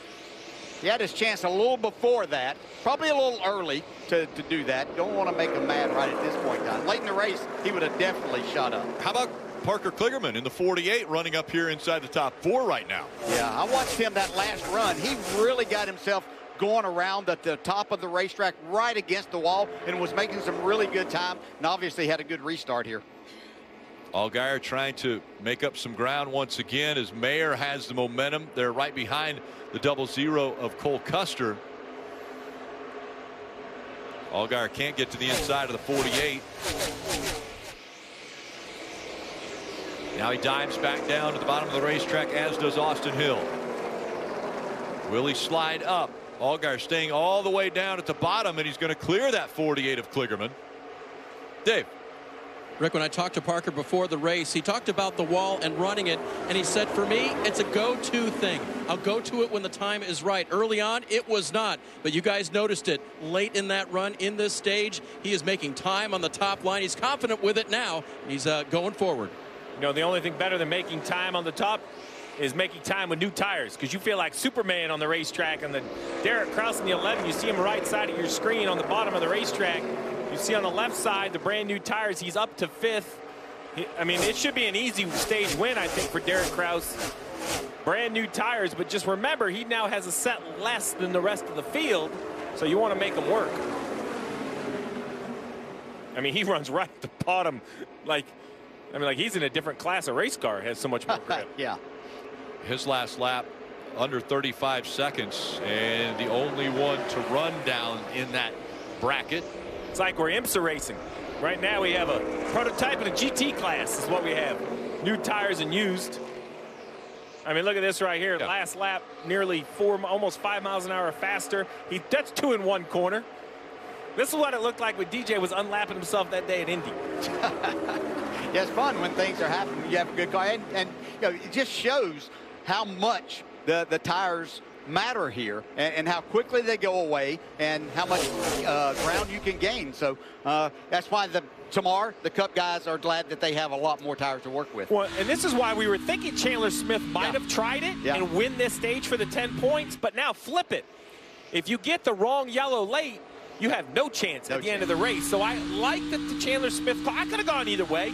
Um, you know, I think that's a true coin flip for the for the other call it car. But uh, right now it's Derek Kraus. He's going to drive right off the front of this field. 13 to go. Kim, that 11 has to feel really good right now. Absolutely, Steve, with those fresher tires. And remember, he's never run here in Xfinity. He's got some truck experience here, but this is his first time in an Xfinity Series car at Homestead Miami Speedway. And crew chief Jason Trinchere told me he's typically a bottom feeder. So we talk about these young drivers at Homestead Miami Speedway. They wanted him to use this race to learn, to learn the high line. So they continue to encourage him not to stay stuck to the bottom, Marty. Kim, I've heard the word patience used by our booth and drivers more today than I've ever heard here at Homestead Miami Speedway. And it's funny because this morning, that's the word Cole Custer used. He will run the top in three and four, DJ, but not in one and two. He told me, I'm going to bide my time. I don't need to be up there right away, which is exactly what Dale Jr. said in the pre-race. So patience, DJ, where did that rank in your vocabulary here at Homestead Miami? Yeah, I used to tell people a lot of times as I was talking to groups whenever we had hospitalities for UPS and, and uh, Coca-Cola and others. And I would talk about race drivers being patient. And they couldn't understand that, what that meant. It looks like you're just wide open all the time. But you have to be that. When your tires are going to go away, you can, like I say, you can make speed uh, very quickly, uh, but you're going to pay the price at the other end. I like the way that Cole Custer is going about this. He has a really fast race car, and we've got a whole nother stage to go whenever they're going to pay, give away the trophy and pay the, all the points. Parker Retzlaff currently 34th a lap down, and that's because a few laps ago, running 21st, and, and this is what we're talking about with patience, and it's just easy to do, right? He just gets a little high, and I don't know if he has an issue that causes him to get into the wall or if he just gets in the wall first. But either way, 31 had to come to pit road. And then the two run on the top. Dale's going to love that because he'd be the first guy to hit you if you pull up in front of him running the top right here. So that is basically the two run on the top, the 88 run on the bottom, slides up. No harm, no foul, but Creed giving the old, hey, man, I'm back here, buddy. So uh, how about giving me a little space on corner exit? That's one of Sam Mayer, though, with nine to go.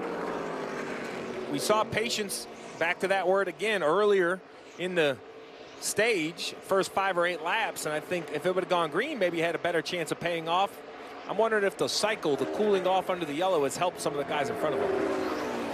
Kaulig Racing has thrown the younger driver, Derek Kraus, behind the wheel, and he's out front. A lot of people are wondering who's Derek Kraus. Well, uh, he was the youngest driver to win in the ARCA Midwest Tour uh, in its history back in 2016 and right now he's only 22 so you think back he was 15 years old when he was able to get to victory lane there and that's a name I hear a lot when I walk through the Xfinity Series garage um, just when you hear a name that many times, you just wonder what it's going to look like next year. We'll see if he ends up in a full-time ride, but we're hearing a lot of whispers for opportunity for Kraus. We'll see if that pays off. 2017 K&N Pro Series West Rookie of the Year, West Champion in 2019. And now with tire strategy, he's put the 11 out front with seven laps to go here in this stage.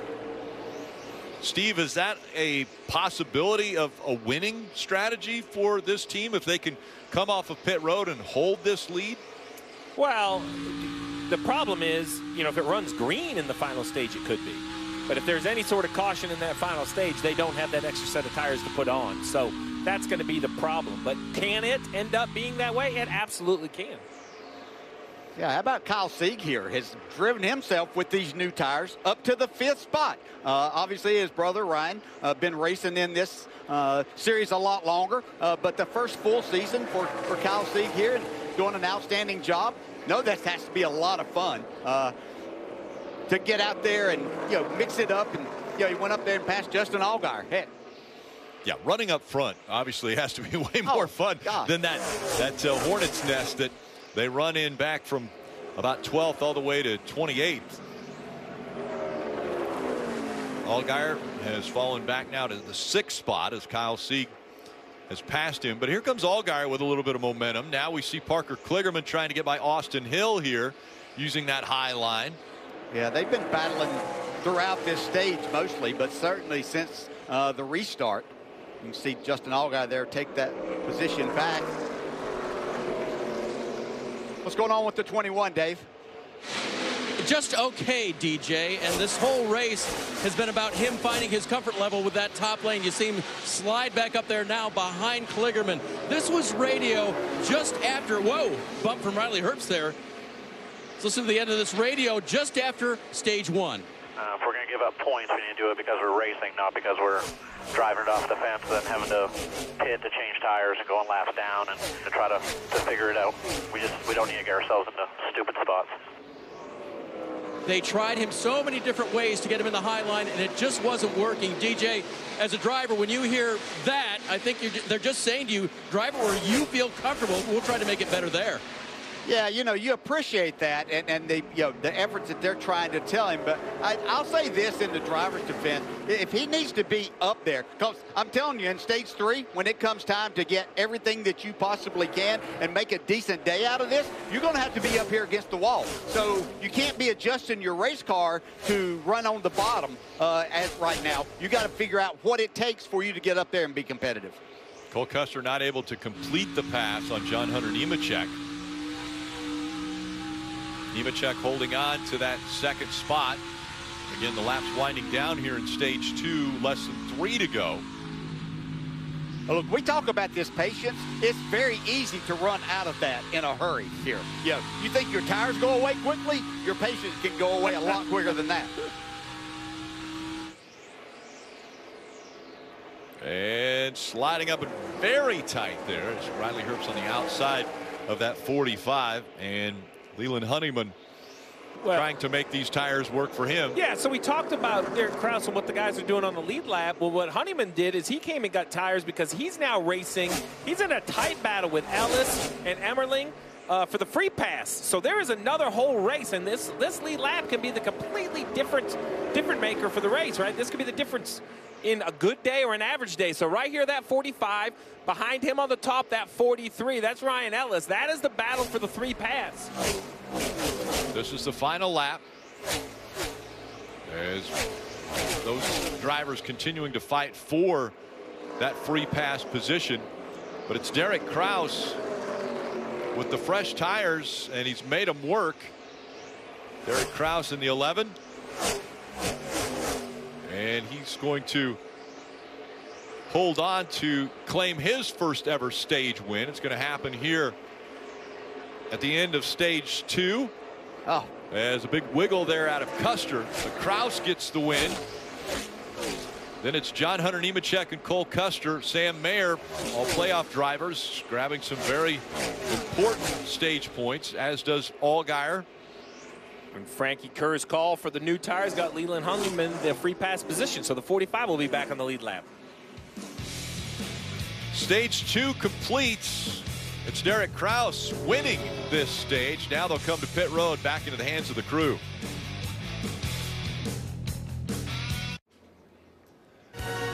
Tomorrow, Sunday Night Football. The Miami Dolphins are on the road. They're facing the Eagles in Philadelphia. Coverage begins at 7 p.m. Eastern with Football Night in America on NBC and Peacock. And guys, I'm Uh. telling you, the yards that are going to be put up there. Oh, Miami number one right now, just under 500. Philadelphia number two in yards per game. Over. Yep. Spotlight on the quarterbacks. Over. I mean, listen, not, and talk about speed. I saw a graph about like the fastest plays or, or players, and Miami had like eight of the 10 or nine of the 10. so much speed on that offense. A lot of speed and a lot of speed on pit road here. Let's go down to pit stops. For Sam Mayer, top left, he said, coming off the throttle, I just get too tight. Tight in the middle is the biggest problem. He actually got the wall just a little bit. Sam asked to be freed up. Two numbers. You saw that chassis adjustment. Four fresh Goodyear tires and Sunoco fuel, Dave. Nine stage points for John Hunter Nemechek. Still two free, so he'll get a wedge adjustment, air pressure adjustment, and a cough drop. Marty. Cough drop, Dave. Well, the last adjustment really helped Justin Allgaier, but he said it's only 75% of what we need. We still need more front turn. And then for Cole Custer, 18 stage points in the bank for that team. Said it fired off better, but gets too tight running the wall. Keep freeing it up, and the pit crew delivered as well. How about that? Look at those top two, Rick, gaining a bunch of spots here on these stops. Big for Custer and Allgaier grabbing a couple spots as they will put themselves up front for the restart. Here in southern Florida, the weather always beautiful, Sport City, and so much to enjoy when you're down here in the Miami area.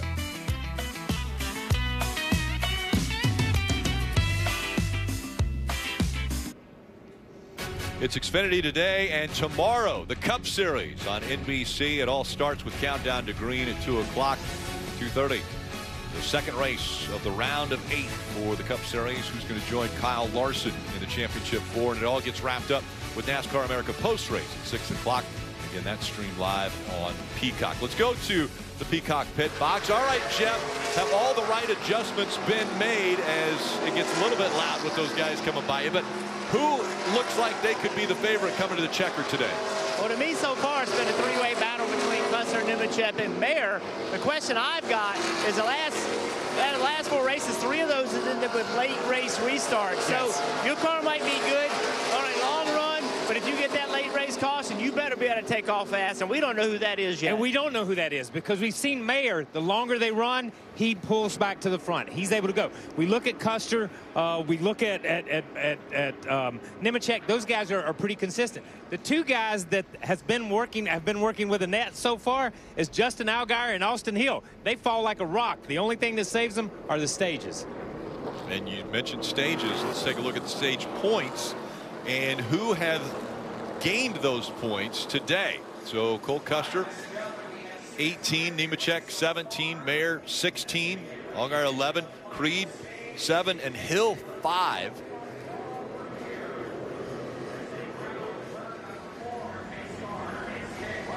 Field two by two as we get ready to start the final stage from Homestead, Miami. Custer and Allgaier. Good pit stops. They're restarting up front. Allgaier on the inside trying to make the move early. Here comes Sam Mayer in the one as well.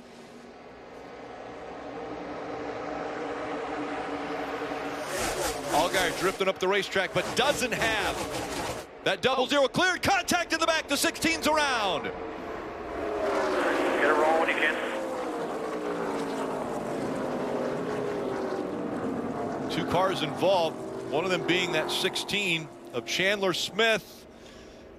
Oh, Brett Moffitt having such a good day. Qualified up front, ran up front, scored some stage points, six on the day. Chandler Smith, you kind of said it, DJ, just wasn't just wasn't the day the 16 Yeah. needed to kind of get back in this playoff picture, and this is going to, in my opinion, take them all the way to a must-win next week at Martinsville. So much damage to the right front uh, and the front of this entire number 16. Take another look at what happens. Yeah, they're three wide off the corner. At least.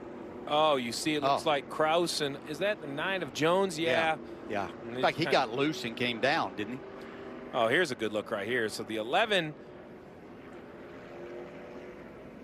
Yeah, it's hard to tell from that angle, but it does look like the nine's coming down. off the wall And quite I a can't believe there. he's just turning down on purpose. Yeah, so either yeah. he got loose or didn't realize there was three below them. This would be a great angle to see what happens to the nine. So you're looking at that black hood, yellow car. They almost just kind of get stuck together. Kind Yeah. of just an odd situation. And isn't that how it always work? Those two get stuck together, and the 16 is the one that gets spit out of line. The dominoes fall wrong here for Chandler Smith, playoff driver. Yeah. Look at that and from that angle. You can't put that on the nine. Nope, nope. From that angle, here's on Back board. Either with- way. Three wide, 20, spin, spin, go, keep on. High, high, high, high, high. Caution, caution, caution. Four wide for 10th just doesn't seem to. I mean, I'll be honest, when I watch these restarts, I can't believe this doesn't happen every time. Um, but that last shot down the straightaway, I think the nine was holding his line. I wonder if the, the middle car didn't maybe get surprised by somebody to his Yeah. left and just move up. Not real sure. Marty.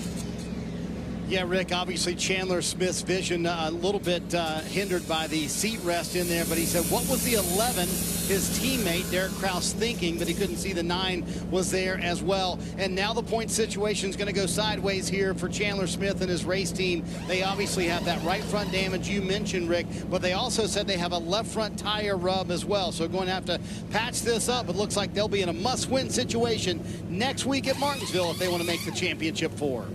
You know, coming into this race, Chandler Smith was only 15 points behind that cut line. And now, after all of this happening, uh, as they're running, he's 48 points back. And very unfortunate situation there. Even after Noble Jack, the Smith family introducing their second son. Uh, that was on Thursday morning, but this is not the way he wanted this race to go.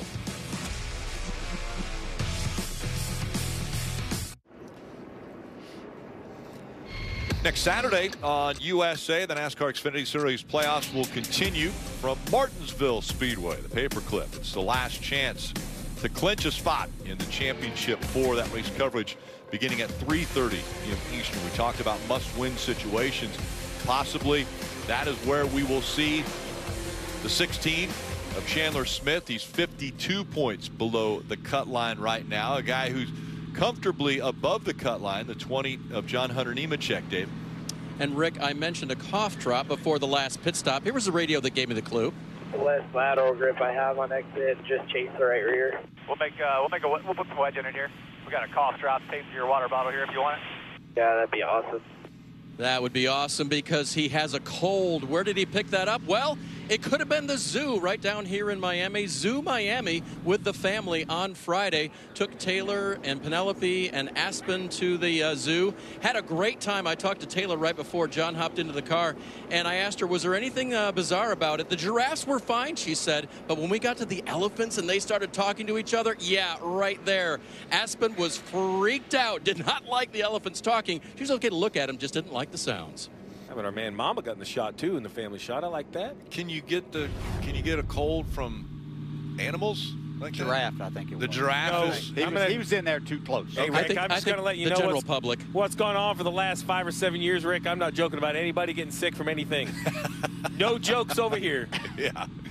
Points as they run and where they run. John Hunter Nemechek plus 50 above the cut line because Cole Custer is right now out front, uh, scored as the leader. Allgaier 19 above. Austin Hill eight points above. So a little bit tightening up there as far as at that cut line. Sam Mayer just eight points back as they continue to work on Chandler Smith's number 16 before they send him out.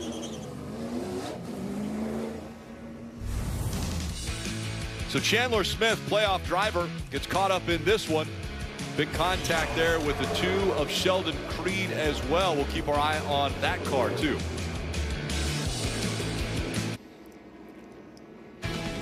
You're watching the NASCAR Xfinity Series playoffs from Homestead Miami Speedway. It's the Contender Boats 300. A lot of boats you'll see there around the area of uptown and downtown Miami. As we get ready for the restart here, Allgaier on the inside, Cole Custer on the outside. Allgaier has shown some strength on the bottom of the racetrack here. We'll see if he can do it again. Under 100 laps to go, 97 now as we get the green flag. Three wide and four wide as they go to turn one.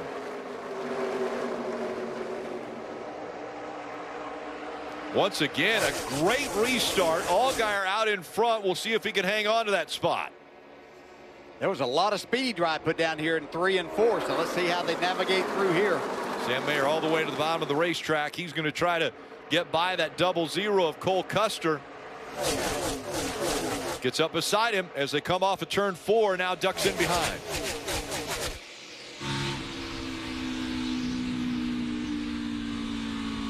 John Hunter Nemechek to the bottom of the racetrack.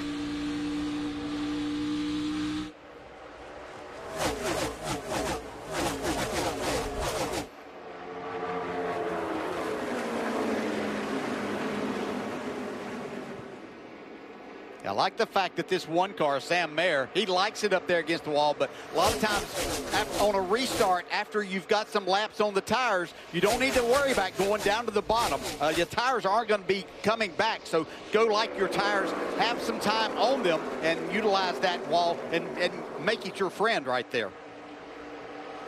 Make it your friend. I like, I like was- that approach. Yeah, I was getting ready to say we're going to quote that. DJ just said, "Make the wall your friend." As Mayer goes to the bottom of the racetrack now and will slide right up in front of the double zero of Cole Custer. Slide job worked to perfection there, but here comes Cole Custer on the crossover move. But I think the one's got the preferred line here, uh, getting back to the corner. Although Cole Custer showed a lot of speed right there and was able to take that spot back. He said, I, I want to be second.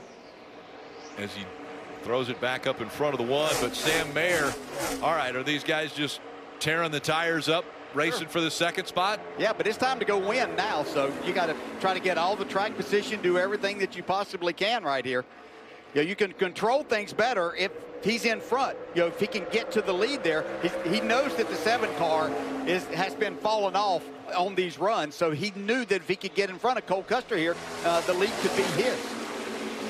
While these two are fighting for second, they're catching the seven of Allgaier. Now Cole Custer Safe with everything. You guys are running hard. Don't burn your stuff up and don't get in any trouble with Cole here. right in the track, the tire tracks of And just that seven. Either got a tire coming apart or a wheel loose. Oh, that no. was just an Allgaier's radio last lap to Jim Pohlman. So he thinks he either has a loose wheel or a tire coming apart. Steve, as a crew chief, what do you do? You're almost helpless. Well, all you can do now is support your driver. You need to say, listen, I'm not in it. Only you know what you have. We are ready. If you think we need to pit, that's fine. The other bit of information, though, 92 to go. I would say we are 30 out of our fuel window. I'm not saying you can or can't, but DJ, let you know if you can somehow manage 30 laps, I'll pit you early. As soon as I can make enough fuel, I'll bring you to pit road. Confident and everything. Yeah, great now, guys. So are you confident? They're going to look at the helmet cameras of the tire changers. What they'll do is draw a pink line on the socket. And when you spin at full trigger, it just looks like the socket's pink. But as the lug nuts tighten, you start to see the line. Naked eye, maybe not. But on the camera slow down, if you can see the socket stop four, at least four times, you feel pretty good about it. The other thing is you look at the air pressure deviation. These are nitrogen tanks that run the guns, and you measure the pressure. And every time the lug nut tightens, you see a spike in the air pressure. So you can actually look at it like data and count how many tightened lug nuts. Now, all of that has lied to me over the course of my career, so you are still kind of taking an educated guess. That's what the seven is doing right now. Marty. And Jim Pohlman came down, looked at all of his tire changers and said, are you sure? But what you're looking at here, bottom left of the screen, is an iPad, Steve, that has a little SD card, and they're putting every tire changer's SD card in there so they can watch that video on the iPad so they can all visually confirm, yes, we got them tight. And now the issue is, say it isn't a loose wheel. Say it isn't a tire coming apart. Maybe it's just a vibration. So that's best case scenario, but it's still going to hurt the seven. The double zero's gotten by, and this vibration. Sure you're confident, correct? Yes, sir, I am. There you go. Are you confident? Yes, I am. But even if it isn't a loose wheel, loaded mid corner. it's going to still affect the handling of this car, not allow this team to make good adjustments on the green flag pit stops. Yeah, I can just tell you, it's really hard to make that decision when you're leading the race. Much harder than if you're running 10th, 11th, something like that. You say, okay, you know, there's no reason to fight this at this point. But to give up the lead with that, it's just so hard. No way can I run the fence with this. There you go. No way can I run the fence. I will say this. The other Hail Mary they could do is math says. Protect mode. Protect. You can pit twice in the stage. You Yeah. can break it up into thirds. The two guys you don't need to win or lead. and pit twice. And what that will allow you to do is, math-wise, it's way faster, but any caution completely disrupts that strategy. So the other plan is, uh, you got 11 laps on the tires, try to get 20-ish more laps, and just pin them early then. Jim Pohlman's going to be looking at every option he has to try to bail his driver out of this situation. Running running in the third position right now is that seven team of Justin Allgaier. What he doesn't need is to have an issue and wreck that car and not be able to finish this race. Currently, as the run, he's 16 points above the cut line. So, Rick, I'm curious from Steve, how much coaching do you, if you're uh, do, if you're Jim Pohlman at this point? Allgaier just said, you heard the radio, go into protect mode. Allgaier came back and said, it's hard for me to protect when there's two guys in front of me. That, but Pohlman on the box has to go into coaching mode right now, which he's doing at this moment with Justin Allgaier. Well, what you're to, this is where relationships, it all comes down to a relationship. You have to manage it, but you have to believe what your driver's telling you, and he has to hear not just what you're saying, but how you're saying it. And at this point, I can't worry about the double zero and the one. Let's worry about the seven. You're worried about new winners. I'm worried about trying to get 35 or 40 points out of this race. Let's not wreck. Let's not, if it shakes too bad, don't talk yourself into it that you think it's going to make it if you can't. You just have to be honest with your situation. Sometimes, Dale, you just said it, very hard to pit. I'm going to let you know that I'm going to be okay if you pit and we don't find anything. I'm not going to be mad. I'm confident you're not making up this vibration. No, no, you're, you're not going to affect the double zero or the one with what you have to work with right there. I like your plan of, and I think the sooner the better. You just go ahead and take that risk. If indeed uh, this is something that Justin feels like is going to happen and it's only going to get worse. That one of Sam Mayer continuing to hang it out as he got a little bit loose there. On the bottom of the screen, you see the 88. Dale Earnhardt Jr. has broken into the top 10. He's currently running in the ninth spot. Uh, so the two cars that he owns are on the top of the box with Sam Mayer and Allgaier running in the second and third position right now. And then Dale Earnhardt Jr. trying that low line as he tries to clear Parker Kligerman here.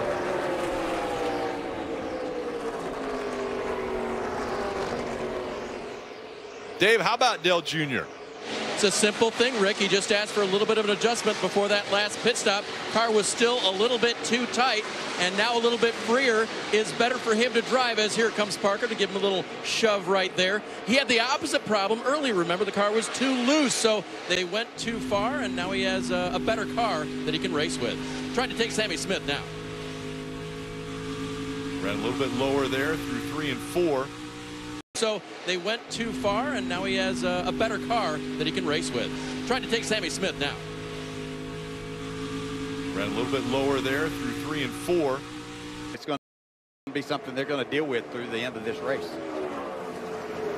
So Dale Jr. is going to fight for the seventh spot now with Sammy Smith. It's Cole Custer and Sam Mayer still out front fighting for the win. You don't have to be in the race to be in the race. Here comes the 94. Introducing the NASCAR Powerball Playoff. Four finalists will win a trip for two to the NASCAR Cup Series championship race at the Phoenix Raceway, with the grand prize winner taking home $1 million. win in Phoenix. Here they are, the eight semifinalists for the million dollar prize. Powerball, the official lottery game of NASCAR, and home to the NASCAR Powerball Playoff. Nice footwork. Man, you're lucky. Watching live sports never used to be this easy. Now you can stream all your games like it's nothing. Yes! That's what I'm talking about. Oh, here he comes. Go!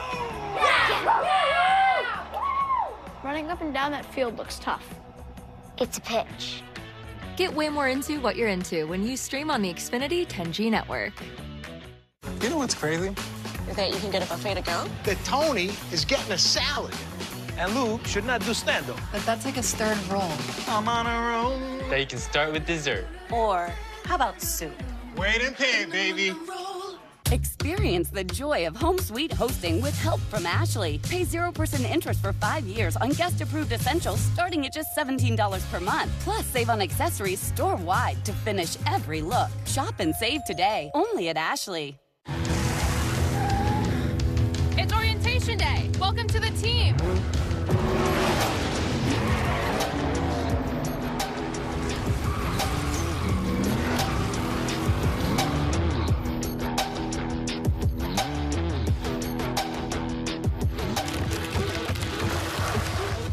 Who wants to race? I like this team. Be part of something greater. Toyota.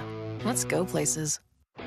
In the beginning was Daytona. Here we go. The birthplace of speed, the launch pad of legends, the great American race.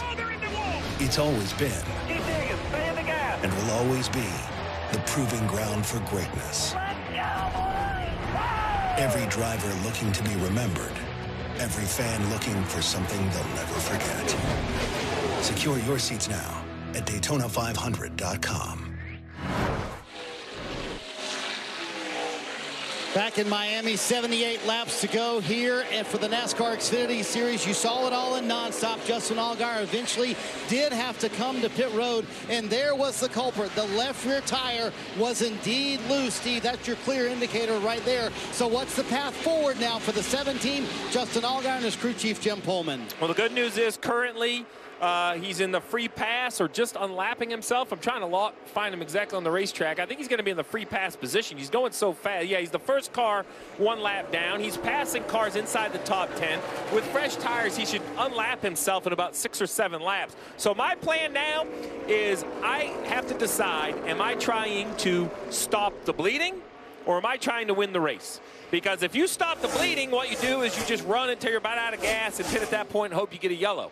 Now, if you're in Vegas and you're going to push all your chips on the table, I wouldn't wait till the next caution. The other option is you get about 35 or 40 to go, and I put my last set of tires on and lean back and say, you know what?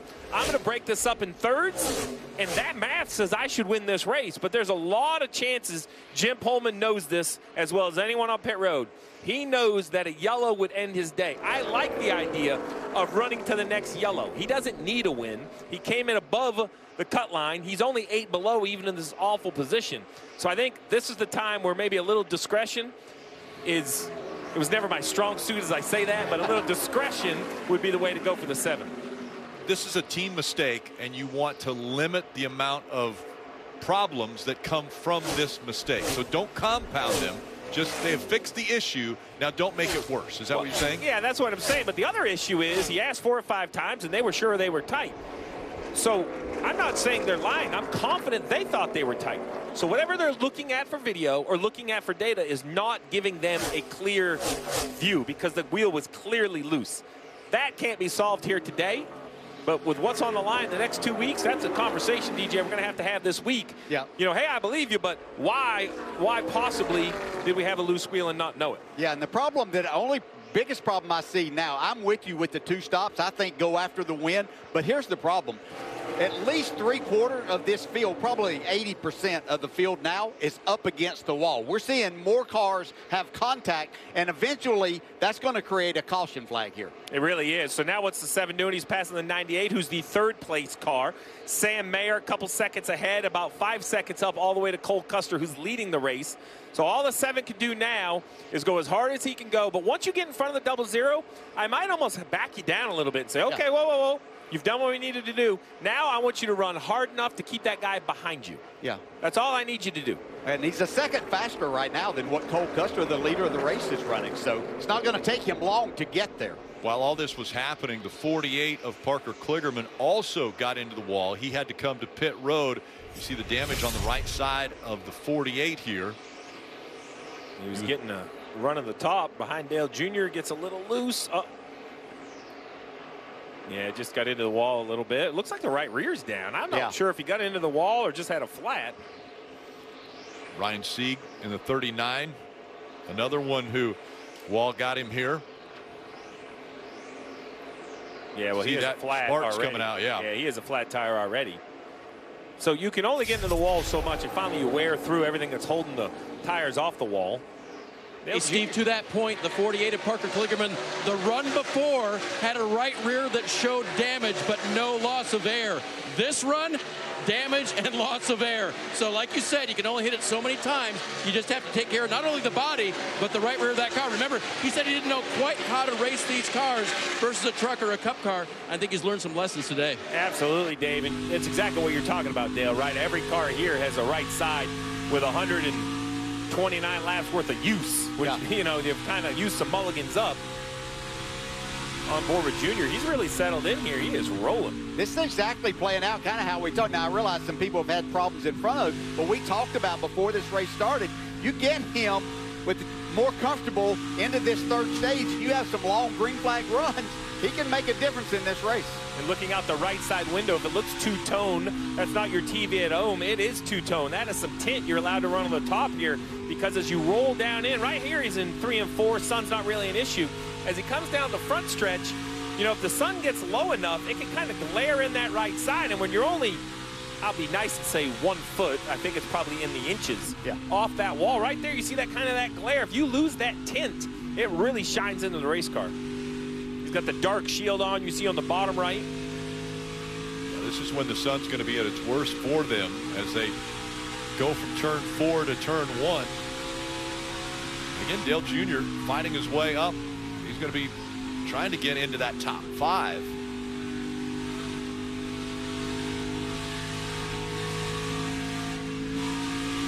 And there is out of turn four looking forward a little bit of glare on the windshield there for Dale Earnhardt Jr. Yeah, and right there as you enter turn one, that's where it really jumps up at you. Fortunately, they put some grandstands and suites down there, and the sun does get down behind there, so it doesn't last as long as what it used to. Marty, uh, is the seven going to try a little new strategy now that they had to go to uh, those different tires?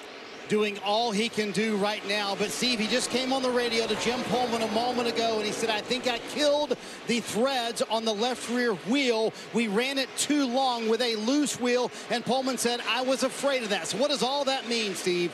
Well, what happens is you showed the damage to the wheel. Well, what's doing that damage is the wheel stud, and that's where the threads are. Remember, these lug nuts are tapered. Unlike a regular nut, that would tighten up against a bolt like a nut you would have at home, it would be kind of flush. But the taper means that the tip of that lug nut goes where that wheel is, kind of into that insert. So where that wheel was banging on those wheel studs has mushroomed those threads over. So now you tighten the lug nut all you want, but it actually just tightens against the messed up threads. It doesn't clamp the wheel tight enough. That was my concern when you ride that long on a loose wheel. We'll have to just wait and see as he looks like he's about ready to unlap himself on the double zero right here. But Marty, that's really going to be the issue, right? Damage on those wheel studs. If they can get them tight, that's great, but it's going to take longer pit stops. And Steve, he came on the radio just a moment ago while you were doing that report and said, honestly, it's no better than it was before. So DJ, what's that like behind the wheel?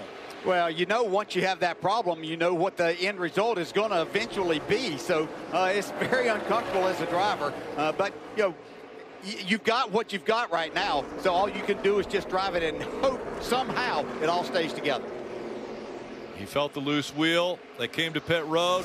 It was definitely a loose wheel. Now he's riding with it. He just unlapped himself.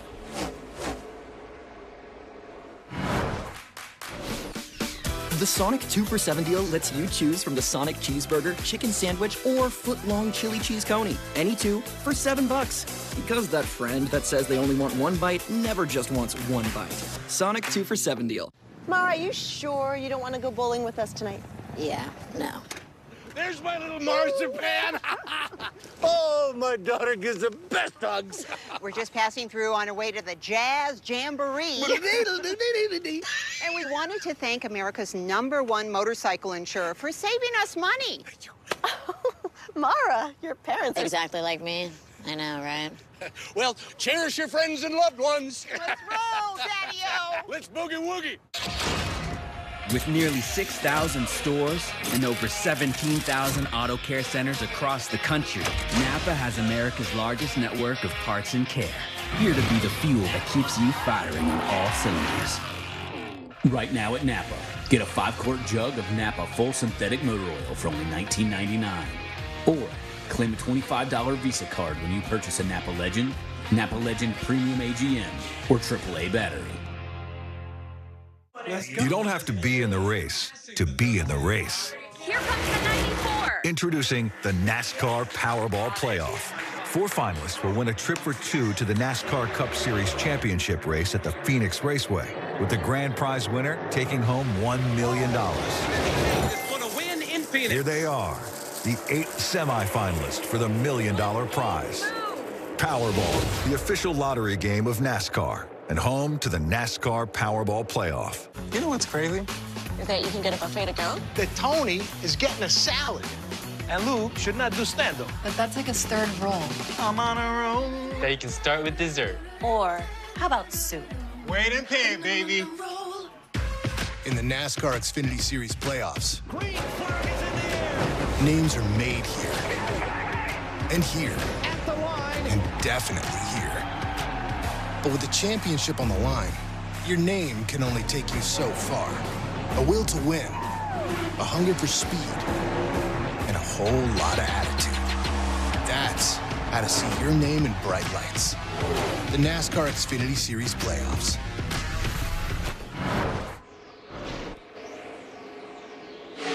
Back at Miami Speedway, where we have stops under green flag conditions. Sheldon Creed, top of your board, said no rear lateral or lateral grip. Need an adjustment on that. Four fresh Goodyear tires and Sunoco fuel as well as that adjustment, Dave. Kim for Austin Hill, his team is done with the service. He's prescribed his car mainly tight on throttle. Don't want to be any tighter entry or to the middle. He's off pit road. All right, Steve, how quickly will we see other green flag pit stops as the race off of pit road between those RCR cars? Kim. And the 98 of Riley Herbst making his stop. You saw that adjustment. He said he just needed more front turn on that machine. What a great run after a win last week for Riley Herbst, Dave. 20 of John Hunter Nemechek. He needs lateral grip, rear drive. They'll make a four Goodyear tire change for him and adjustments there. Dale Earnhardt Jr. on the left. He's on pit road. He said no grip. I don't know what to do there. They'll make some changes. See if it works, Marty. Dave, we have talked about the patience Cole Custer has shown today. He has led 108 laps. This could be his race to advance to the championship four. A car having a problem on the racetrack. One car blowing up. I believe that's Chandler Smith coming to pit road now. But for Cole Custer, he said once he got to the wall and was willing to run it, he said he just needs a little bit more turn. They've been the dominant car, and the pit crew's been terrific. Can they deliver on what should be the last stop, Dave? So far for Sammy Smith today, it's been tough as he leaves pit road now. They made changes to the 18. Oh, no, he's coming in right now. So the four Goodyear tires he will get will hopefully change that car. This rookie has not had a good day in terms of stage point. He has not earned any. Remember, he came into the deficit. He's making Martinsville look like a must-win next week. Hard left-hand turn for the 16 of Chandler Smith. He's behind the wall now, so out of this race, it looks like for the 16 as Ellis and Sammy Smith get on the access road as they exit pit road. And back up to speed down the backstretch. The nine, Brandon Jones, Parker Retzlaff also on pit road now.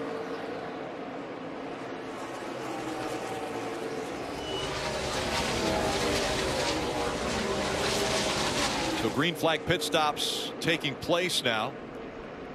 It's 2 and 21. Again, those fresh tires, those two fighting for spots on the track. Derek Kraus back out front again as the green flag pit stops continue to cycle through.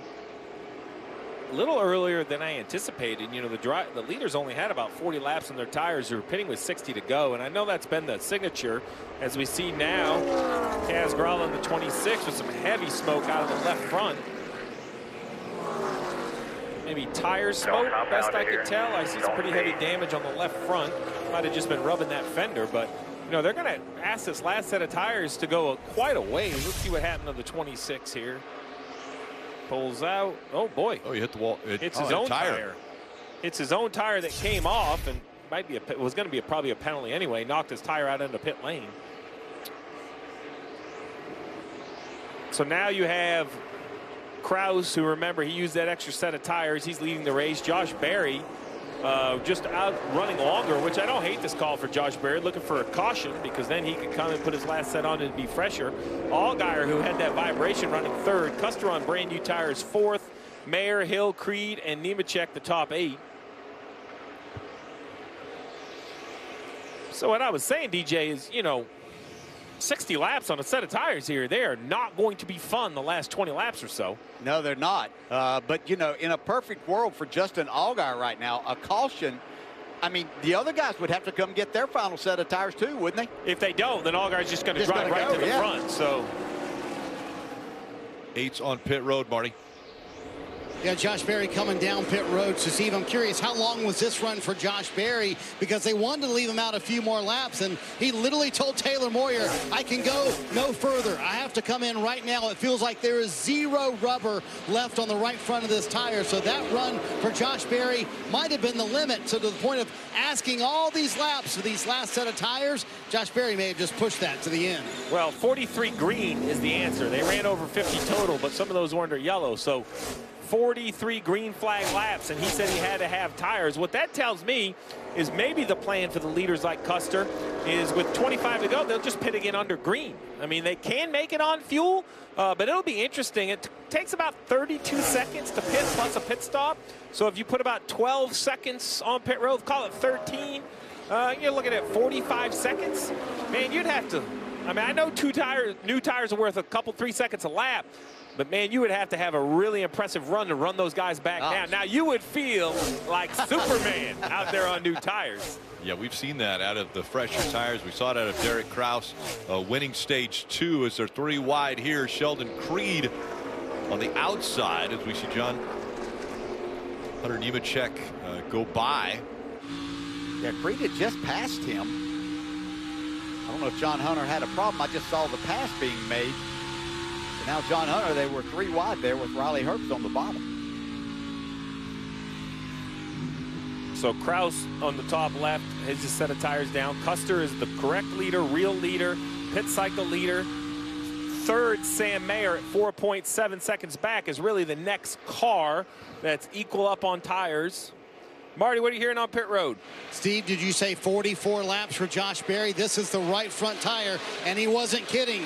There's almost no rubber left on that right front tire. So dissect what happened there on the right front of the eight, Steve. So what happens if we stay here for just a second? What happens is it wears through kind of over here.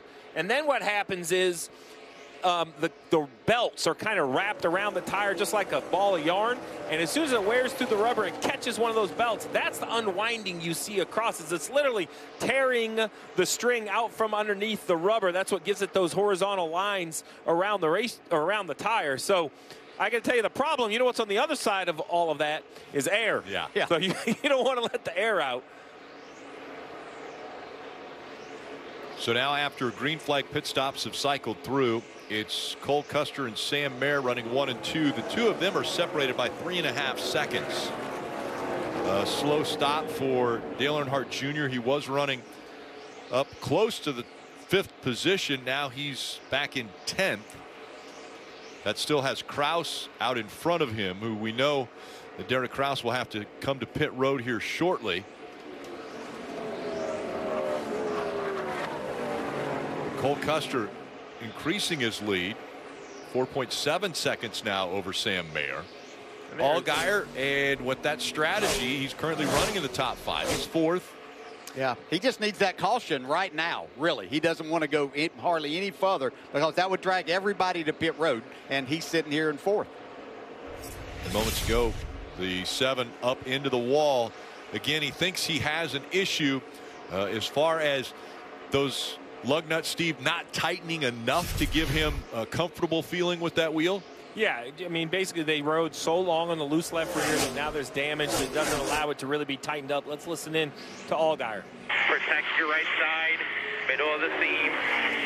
Middle of the seam, I'm six inches off the wall, bro. Cole Custer has a problem. He's slow on the racetrack as he goes across the finish line. Right front. Right front tire flat, Rick. That's what he just said. So right front tire flat for the dominant car today had led 114 laps for Cole Custer. And the problem is it happened coming off turn four. He's got to lip all the way around the racetrack. And the problem is I can't tell you if he got into the wall or didn't get into the wall. They've hit the wall so many times. I know he has at some point. I'm not sure if that's what caused this. Let's take a look. He goes in. It looks like it's up. It looks like it's at speed like normal. I mean, I don't know what happened first. We definitely saw some wall contact, so we'll have to just hear what the double zero has to say. But now to Marty's point, as he goes around at this speed, all the sparks, everything you see, I know there's an interliner. He's dragging the sway bar arm off, the right front splitter off. This double zero is going to be a world of trouble, even if he does get back to pit road. He's on pit road, and watch the points go away from Cole Custer as they run. Now he's only one point above the cut line and now below the cut line. Those 18 points that he was able to gain in the first two stages, huge right now, Marty. Oh my goodness, Rick. The win was so close for the double zero team. They looked like they would lock into the championship four, but you got to run all 200 laps. That right front gone for Cole Custer. And now they'll go into Martinsville, likely in a must-win scenario. Check that right front coming off the double zero car here. So these new tires will help Steve, but man, those points slipping away every moment here for the double zero. Now it really just depends on what everyone else does in the race. Remember, he was one of the drivers coming in that was just barely above the cut line. 15 points, I yeah. guess, depends on which side you're on. If it's barely or a good area, we'll see he's going to lose points here. But now, who wins the race? Do we see a new winner? Minus seven right now, which is good news for Custer because he's about 20th on the racetrack. But how do these leaders, Sam Mayer, how do he and his team, Austin Hill is right there, Nemechek, uh, Sheldon Creed, how do they go about this um, and get trying to get that many laps out of their tires? I, I don't, don't, see it happen. No, I don't either. I think you're going to have to pit with 15 or 20 laps to go, or you might be the caution. The seven has finally said he had to come in, whether it's worn out tires or a vibration on the left rear. We'll have to get an update. Now the double zero also has a penalty for too many men over the wall. Marty. Yeah, the insult to injury for Cole Custer. They'll have to serve that penalty. Jim Pohlman did not want to make this move to pit for Justin Allgaier because he wanted a set of tires later in the race. Allgaier said, I simply cannot go any longer. So Allgaier pitting from the top five after having maybe his best ever Miami race. And there's Cole Custer, the dominant car, serving his penalty. What a swing of events here in stage three, Rick. Yeah, race leader Cole Custer, right front goes down. They come to pit road. Too many men over the wall. And so now Cole Custer serving the penalty. Allgaier has come back to pit road. They've got an issue with the wheel uh, not feeling like it is completely secure. So that puts Sam Mayer out in front. And the other playoff driver who's currently out of this race is Chandler Smith. Rick, he had a banged up race car with the front end that didn't look right. Did you eventually just overheat that motor? Uh, I just noticed I started smelling some oil um, and looked at my oil pressure gauge and was losing a little bit of oil. And it kind of plateaued a little bit there. I was thinking it was going to be okay. Uh, and then out of nowhere, it just started blowing up. So sucks. I hate it for my guys. I hate uh, I hate what got us there partially. It's my fault for not doing a good job in qualifying and qualifying as far back as we did, kind of stayed there. Um, I'm definitely pretty pissed off between the 11 and 9. I don't know if it was a race deal. Looking at looking at the replays, looks like they both kind of screwed up, and I was the collateral damage of it both. So uh, sucks to say the least. But uh, I'm going to watch this as a race fan for the rest of the race, and I hope Junebug goes and wins this thing, to be honest with you. There's one for Junior. There's the wreck again that started the day for Chandler Smith going bad. And as he said at the end, the motor just gave way. A lot of people, Rick, saying next week, I got to win at Martinsville to advance. One of them, Chandler Smith. Yeah, and the reason he wants Junior to win is because he wouldn't lock up one of those championship four spots that he wants to be a part of. Sam Mayer is out front right now at Homestead Miami Speedway.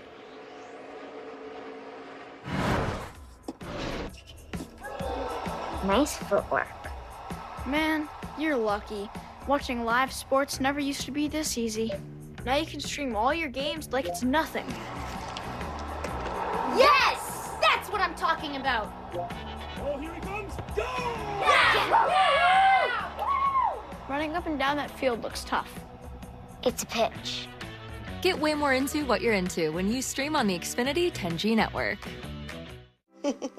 a first child can be stressful.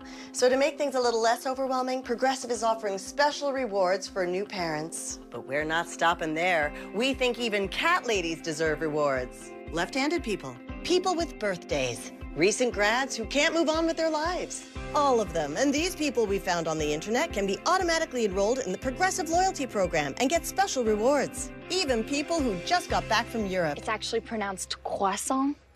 I was just in Europe. Right now, Sonic's small hand mix shakes are $1.99 all day. It sells itself, so I'll just list flavors in my sexy voice. Chocolate, strawberry, peanut butter. $1.99 small classic shakes all day at Sonic.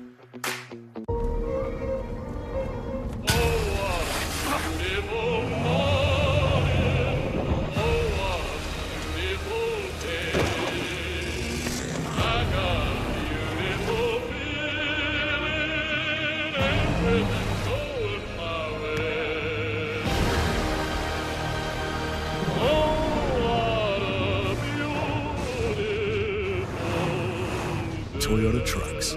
Let's go places. When it comes to the wrong mattress, you snooze, you lose. At Ashley, we've got you covered with top mattress brands at winning prices. And you can snooze now and pay later with 0% interest for 60 months. Make every snooze count. Shop in store or online today. Trick or treat.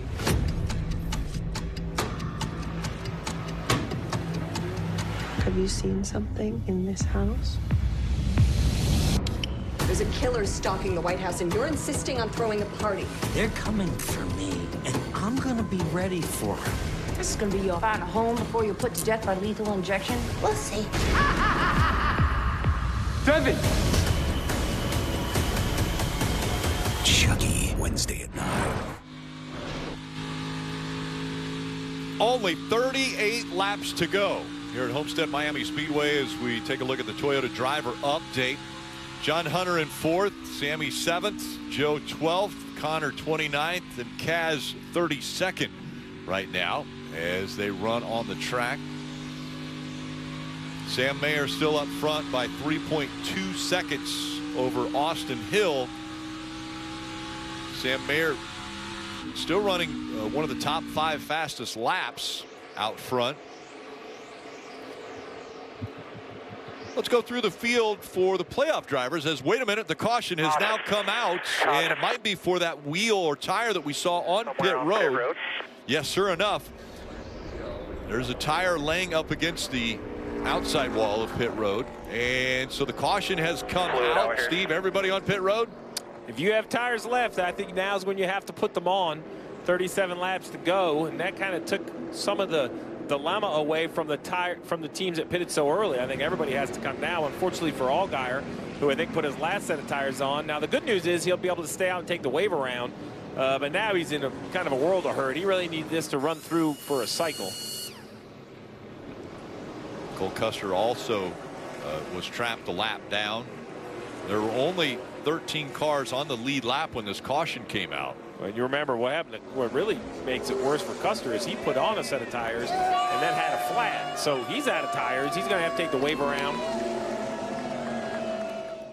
The crowd having fun here at Homestead Miami Speedway. Again, there'll be two races remaining for the Xfinity Series at the checkered flag today. Sam Mayer's out front trying to lock up a spot in the championship four.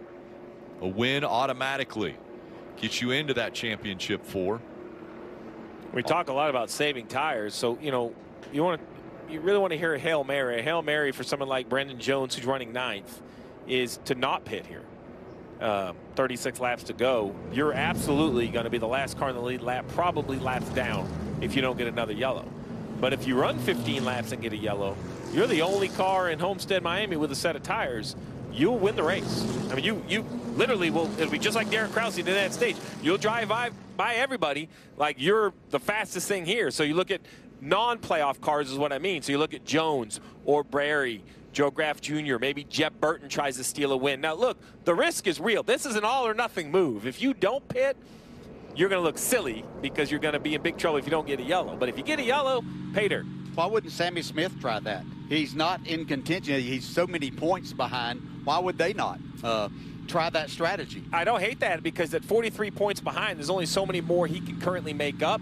And staying on the racetrack would put maybe Custer and Allgaier with the chance to recover as much. So that could also trap a guy playing a little offense while you're playing defense. Marty. Justin Allgaier and Cole Custer will both take the wave around here. Steve, just or uh, Cole Custer, really still upset with him about what happened. Listen to the radio. And I missed. First time I hit the freaking wall all day. Sorry, guys. Hey, dude, this is a team. We love you. Still love you. So uh, we're going to fight to the end here. You're going to be okay. And then, Steve, to make it even worse, Jonathan Tony on your screen right now, that was him with too many men over the wall. He went to catch that flat tire, that right front that went flat. He went over the wall accidentally, and that's why they got that penalty after hitting the wall. Man, that is just too bad. The extra penalty really put him behind. Now we see the leaders come in. There you go.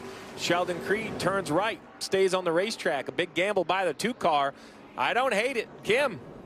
Yeah, and there was a great debate between he and crew chief Jeff Stankiewicz. They are banking on a late caution. Let's follow the stop, though, of Sam Mayer. Sam said he just got a tick free during that run, about a 2 out of 10 free, four fresh Goodyear tires, Sunoco fuel, Dave. Austin Hill stated the obvious, best it's been all day long. He said I could be a little bit tighter on throttle so I can squeeze it at the three-quarter mark. John Hunter Nemechek said I was having to turn right on exit of corner. That right rear is not in the track as they'll do the race off pit road here. And so they race off of pit road, those that came. How about the two of Sheldon Creed? Let's listen into his radio. Everybody, we're going to take a big gamble here. Could not work out at all. We could go a lot down, but I think it's our only chance to win, okay? Four. I love it. Let's go to Vegas. Push them all on the table. but what this also does is I love the theory. They're currently well below the cut line. They were 40 points below. Now they're going to be shown as the leader. But they were well below. They were closing in on a must win. They really didn't have speed to go outrun the one. But what this also does is staying on the racetrack is if we let this field go by, behind them on the racetrack, the seven of Allgaier, the double zero. They can't take the wave around now because a lead lap car stayed out in front of them. So Good move for the two. Also playing a little defense on your other playoff competitors. Only 14 on the lead lap.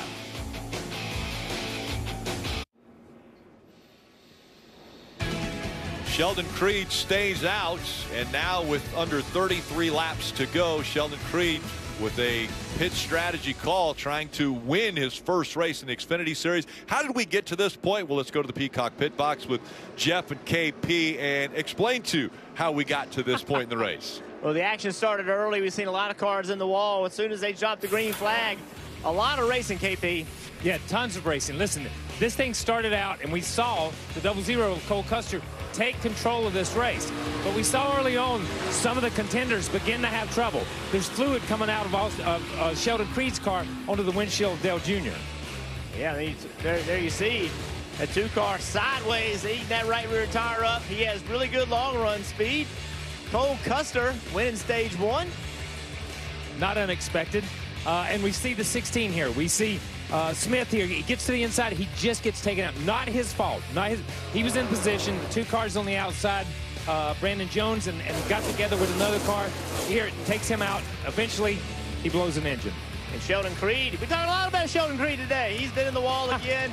See right here, the 16 car, he had that damage. He had to come in. Car ended up overheating, blowing the engine up. His day is done.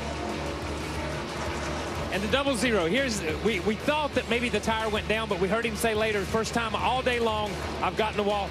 To add insult to injury, as he limps around and comes down pit road, he has an extra man over over the wall. That's unacceptable. When you're in that situation and you know you've already dug a hole, you can't make the hole deeper. Yeah, so now the, the plot thickens because yes. Sheldon Creed and his team they're in a must-win situation. I personally, I looked at you uh, about five laps yes, before that caution yes, came did. out. I said two car wins. Yes. Because he's so fast on a long run. I don't think he wanted that caution the caution came. Yep. And when it did, they said, hey, well, you know what? We got to win. We're going to stay out. Look, if this thing goes green, they're going to have a horrible finish. Yep. But if it doesn't and they get a late race caution, they come in, put on, put on four tires, Sheldon Creed flying over to the field, he'd have a great shot to win. A great shot to win. He's 41, minus 41 going into this thing. This is not a gamble. This is something, as far as I'm concerned, this is something they have to do. They were put in this position. What I also like about it, it takes Allgaier and Custer and throws another shovel of dirt on them because they didn't get the wave around like we've heard a number of times here. Well, Rick, it's a lot of fun down here. I know you guys are having fun, and it's just gonna it's just beginning. Remember, a lot of late race restarts. This could not be the last one. so Burton's calling it already that we're going to see another caution that will bring another restart into this. Steve, do they still have that set of tires from qualifying yesterday, is that is a scuff set of tires? Could it be another option for them? Well, these guys normally start on their scuffs, so they probably have all stickers in the pits. Okay. They usually don't have to roll their scuffs forward. Uh, so they have a brand new set of tires in the pits. Everyone else has nothing. Um, it's, it's become really interesting, right? Because the two right here is going to just try to not lose as much time as possible, not get wrecked on old tires, which That's is a right. big concern. Yep. Uh, but now, if you go all the way back, just to not hit me too early. Yeah, don't hit me too early because, man, I'm out here on old tires. You're going to want to accelerate. But now the 7 and the double zero, who couldn't take the wave around, to quote our friend Kyle Petty with the one more shovelful of dirt, here's the other issue, is the other cars, Ryan Sieg, Josh Williams, Jeffrey Earnhardt, Jeremy Clements in the Kyle Petty throwback, they all are a lap down, but they just put on brand new tires. So I know that, you know, the 7 and the double zero have pretty good speed, but they have, you know, older tires on their car, so it's going to be next to impossible for them to even race for the three for the free pass. So Sheldon Creed, these are the laps that he has led, 340 and counting without a win. You see only three names above him, Brian Scott, Davey Allison, Shane Hmiel. As far as not getting or leading more laps and not getting that first win. All right, so DJ, what's the two do to not get run over? He knows he's down on tire. Yeah, it's just really hard. I think you just move up, and Riley Herbst can't lay back too much. We saw a couple of penalties in the Cup race, and he didn't do that. So he did a good job right there. But you just got to get out of the way. Outside, outside. Yeah, they are flying by him. So Sheldon Creed's going to try to limit the amount of damage here. He falls all the way back, even through turns one and two, as we saw a car got into the wall there. I don't know if it was the 8 or the 88. Both look like they were close to the wall when we saw the smoke. Oh, the 8 into the wall now. And he has a problem. This could bring the caution out, probably will bring the caution out if he can't get hard to the left. Wait, caution wait, wait, is out. Wait, wait, two more cars, three, two, one. Come on to the bottom. You're good.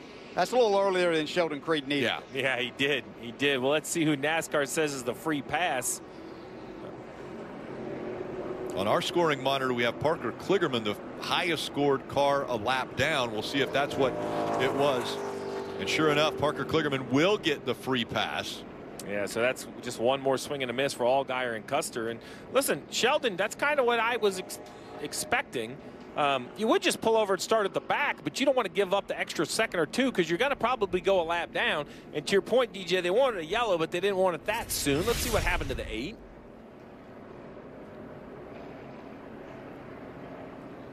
No, he just got a little bit high into the wall, best I could tell.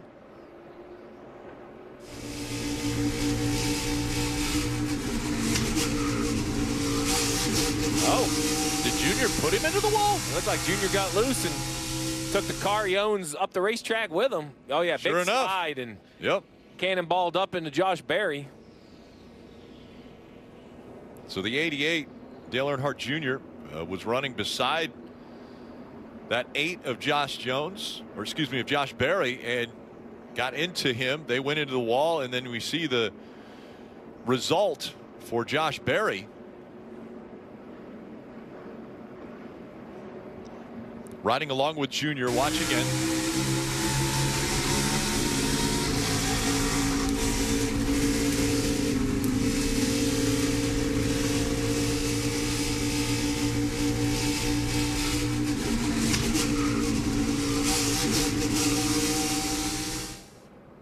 Yeah, the eight just gets to the outside. We didn't see the eight in front of him, right? So the eight gets to the outside of the 88, and then Dale gets loose, comes up, takes the eight up into the wall. Pretty heavy damage on the right side of the 88. We're going to have to see if he has air in his tires. Well, let's listen into what Junior had to say. Yeah, I heard it eight through the middle or something. I don't know. I just got I just confused on what you're telling me. We got a flat tire. All right, bring it to us then. So we'll go back and worry about it later, Ben. So sounds like maybe a little confusion with the spotter or radio communication. Thinks he has a flat, so we'll just have to see if he has to pit. Asking for Jeb to come look at it. Now, no, no, the rear. I want you to look at the right rear, he says. Oh man, that sucks.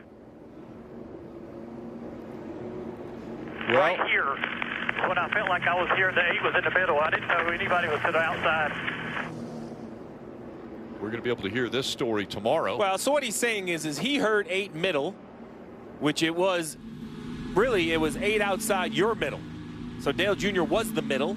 He didn't have someone to his left putting him top three wide. And this is just part of, you know, we talk a lot about driver, crew chief communication, driver spotter communication. I mean, there's a lot going on on this restarts. There's chaos everywhere. And and only the second time he's been behind the wheel this year. So yeah, there's not that continuity of the communication that we always hear. All right, so here you go. You have the 88 in that orange car, right? So he is going to go three wide top around the two.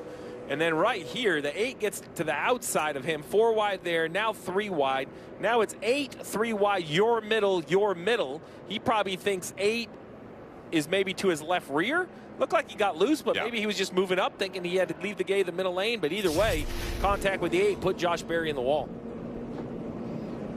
And the damage to the right side of the 88. Big donut there. I'm not going to talk to him on the radio, Rick. I'm going to let him go ahead. And, This would be a good time not to talk. yeah, I'm going to let him finish this one out. We'll just talk to him tomorrow in person. But don't be looking over here at me like I I'm was going gonna, to. I didn't Yeah, know if you I- were going to talk to him on the radio. I mean, if anybody could get away with it. Yeah, you know these restarts are just so hard anyway, and and when you're not in the car all the time, getting that communication right. So let's go down to Kim and the radio of the two I'm sure is very interesting after this caution. Oh, yeah, it's actually been kind of quiet. While they do have an extra set of tires and we're looking for a late race caution, this was not the late race caution they were looking for because it came a little bit too early. So they are going to stay out while pit road is open and hope for a second later caution to take that last set of fresh Goodyear tires. Right now, I know Sheldon is behind the eight ball with the old tires he has, so they've just told him hold your line as best as you can. We know what you're working with out there. So, Kim, we're going to focus on the two of Sheldon Creed on this most recent restart. Again, he started up front because he didn't come to pit road. Everybody around him has fresh tires. Yeah, I mean, there's really nothing he could do. Just hold his line. He's in the middle. The 10 gets right to his bumper, and I don't know if he didn't know or just didn't think he'd get to the outside, but this could have been really bad for the two. Yeah, you need a caution. You just don't want to be it. Uh, but there's just nothing you can do. I mean, he did the right thing there uh, of getting right there. And, you know, these other drivers should have been uh, notified of what was going on with that so that, you know, and, and again, it's hard. You've got cars going everywhere there. But, uh, you know, he's just needing to ride is all that he was needing to do. So now what does the two need? 25 to go. It's as he's losing laps, it's making this Hail Mary a little bit harder. Um, but to be honest, tires fall off so much. I mean, a green-white checker, he could about still win the race. Like if they run 20 hard laps on these tires, and the caution comes out, there's only 14 cars in the lead lap, so he'll he'll line up in the front seven rows with brand new tires. Maybe not a green-white checker, but three or four laps is probably all he would need. Just remember, this car does not fire off good on new tires uh, against others with new tires. So, Yeah. you know, he's got that, but he's still going to be way faster. Marty, what about Cole Custer? Yeah, sitting in 17th, still a lap down, and he wanted a points update from Jonathan Tony. Worst case scenario is one car wins. Where does that put us right now? Well, right now, the way it runs, no matter what happens, if one car wins, we're going to be fifth one point, one point out of the one point out of fourth. Because uh, right now, the way the points are, the one car is third in points, and he's leading the race. So. So, Steve, look at the left-hand side of your screen going to the last race in the round of eight at Martinsville next weekend. If it finishes like this, boy, that would be a heck of a battle. You look Austin Hill plus six, Allgaier, Cole Custer. They would be one point on the right side of the cut line and Custer one point on the wrong side of the cut line. And all three of these drivers a few weeks ago, everyone had them in their championship four. That would be a whale of a battle next week. Oh, it'd be a heavyweight battle, but I think we're going to get that for the last 25 laps of this race because I'm not sure sure um, if the one is the guaranteed winner by any means, right? We have Hill and Nemechek behind him. We have Creed out there kind of working on a, a little bit of a hook and ladder. Look, he's still lateraling the ball, waiting for the yellow to come out, trying to make a run at it. I don't hate the two's position. I know this is crazy and it's going to take something, but look, I mean, the final green flag run at this racetrack was five laps or less in each of the last four races here. So this isn't a crazy idea to think that we could have a late yellow the other thing we have to remember is every position on the track is a point.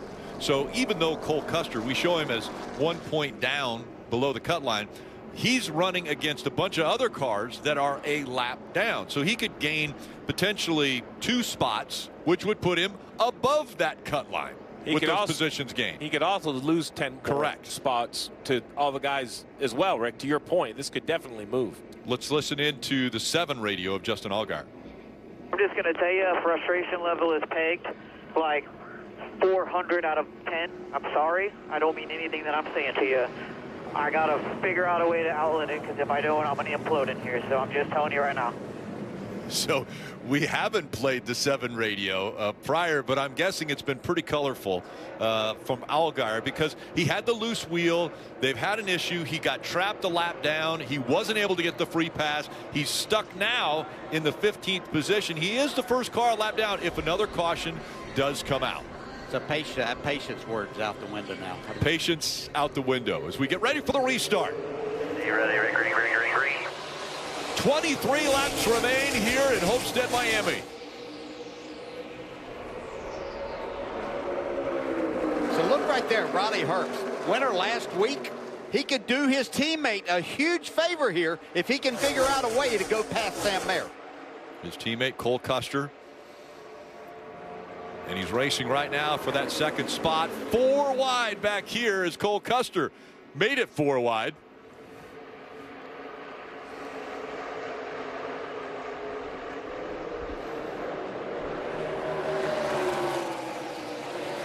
Sam Mayer has had great success this season on road courses.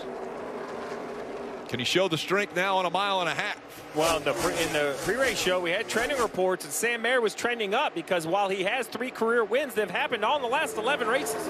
So this is a driver that has matured. He's found a way to win. I know road courses have seemed to be his specialty, but he has had speed other places, and you wonder if today is the day, right? Could this be the big oval track win propelling him into the championship four? And that sun continues to set going into one. Not only is it bright, but then you kind of drive into the darkness. It's got to take your eyes a little bit of time to kind of adapt. Acclimate to that differing uh, sunlight level. And John Hunter Nemechek now in the third position, chasing down the 21 of Austin Hill in front of him. Let's see what he does as they go into three. Yeah, John Hunter wants to be aggressive. He obviously would like to win because that does lock him in. But he's got such a huge points advantage right now. He doesn't need to do anything that might create a mistake on his part.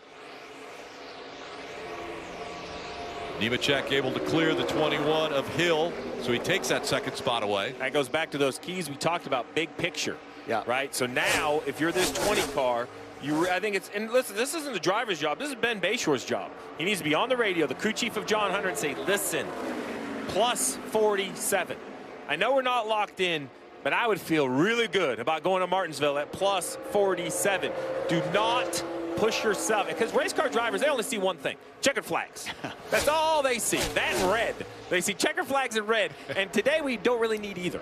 Allgaier seeing red right now, and Sam Mayer would love to see the checkered flag. John Hunter Nemechek as well. Riley Herbst, second and three tenths behind also. Dave. Josh Berry's out of the infield care center. Josh racing with the boss there. What happened? Uh, yeah, I'm not. I, am not really sure. Just got squeezed there. I'm not sure if he, uh, if he got. I, I, have no idea what happened. I haven't seen it. Just got squeezed in the wall there and had something broken, tire down, something in the three. Just, uh, just a long day, long day. Um, but we we had, we had some really good restarts. Um, that one looked like it was going to work in our favor again, and just unfortunately uh, didn't make it. So. Um, just a tough day. Just want to thank everybody at Junior Motorsports. want to thank Tire Pros for being a big supporter of mine in the last few years. Um, just going to keep plugging away and try to make something out of these last few weeks. Two weeks to go for Josh Berry before he'll take over uh, behind the wheel of the four that Kevin Harvick is vacating. Allgaier running right along the fence as the double zero of Cole Custer has been able to get in front of Allgaier. So now Allgaier has dropped back to 17. Cole Custer ahead of him. And Cole Custer is now above the cut line plus two. And every position's going to matter. Every point's going to matter. We have seen drivers be tied in the cutoff race. So at this point, you know, Cole Custer gains one, and you also take one away from the seven.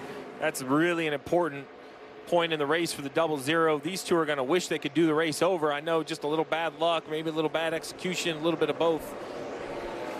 You know, as I watch these, Sam Mayer, the leader of the race here, he is right up against the wall. He is doing everything that he needs to do to make sure he stays out front. John Hunter Nemechek in second is not challenging the wall right now. I, so I think he's in that position. Maybe his crew chief came on and told him exactly what you were talking about there, Steve. Uh, it's going to be hard for John Hunter to make up that difference by doing that because Sam Mayer is running so good up against the wall. He's been fast the majority of the last, but this last one, uh, Nemechek was about a tenth quicker. And just to give you an idea, we have, if you look on the bottom left, Mayer leader. That's what moves him in to the points. But so right here, he's leading. But if he gets past to second, if I look at the point total on our timing monitor, that puts him all the way down here between these two, if you can believe it. He basically becomes the cut line. So that's why, you know, risk versus reward, well, the reward is too big. All the risk has to be there. At this point for the one, this is the moment. This is his moment as a young driver to prove he is ready because Herbst is coming. Riley Herbst has got pace. He is faster than Sam Mayer the last couple laps. He's even faster as he runs down the 20. So if you're the one, you can't be cruising. Under 14 laps to go. Mayer, Nemechek, Herbst, they don't want a caution to come out. Sheldon Creed currently running 13th, 15 seconds behind. He would love a caution to come out. Yeah, if he had the perfect Magic 8 ball, run about six or seven laps, get a yellow, and he'd be in good shape. I don't even know if he wants it that much, you know, just to make sure that you have, have enough the time, time. You mean having uh -oh. more time? Oh, Jeb Burton go. with a problem, and the 27, maybe the right front down on this one. Is he going to spin out? He's trying to get the pit road. Stay straight, get on pit road. He made it. Uh, running 11th, too. Having a pretty decent day for Jeb. Let's take a look at what happened. Yeah, just in the fence. Hard to tell if the tire went down first. Cause or result. Never know which was first, but either way, a flat right front. But that, to back to your point, that's all Creed needs. There's, there's a bunch yeah. of cars riding around out here with beat up right sides. Crew goes to work. They'll put four fresh ones on the 27, although they'll be worn. John Hunter Nemechek looking back on that 98 of Riley Herbst. He's still not been able to close the gap and get by him. And guys, I looked out the window. So Dale Jr. is up in fifth spot. And the first four are running up against the wall, and Dale Jr. was running around the bottom of the racetrack. I said, what's going on? Uh, New I world. thought the eclipse was last week. New world. Dale Jr. Uh, not right up against the wall with under 11 laps to go now. And the 20 had had to move up because Riley Herbst, uh, just a couple of laps before, had moved up and it looked like he was going to try to see if he could make some gains and get a pass, probably get to the outside there. And so John Hunter kind of had to move up to stop that moving forward. Mayer still with a 1.3 second advantage over Nemechek. 1.5 seconds over Riley Herbst. That's the gap. Right there is second and third.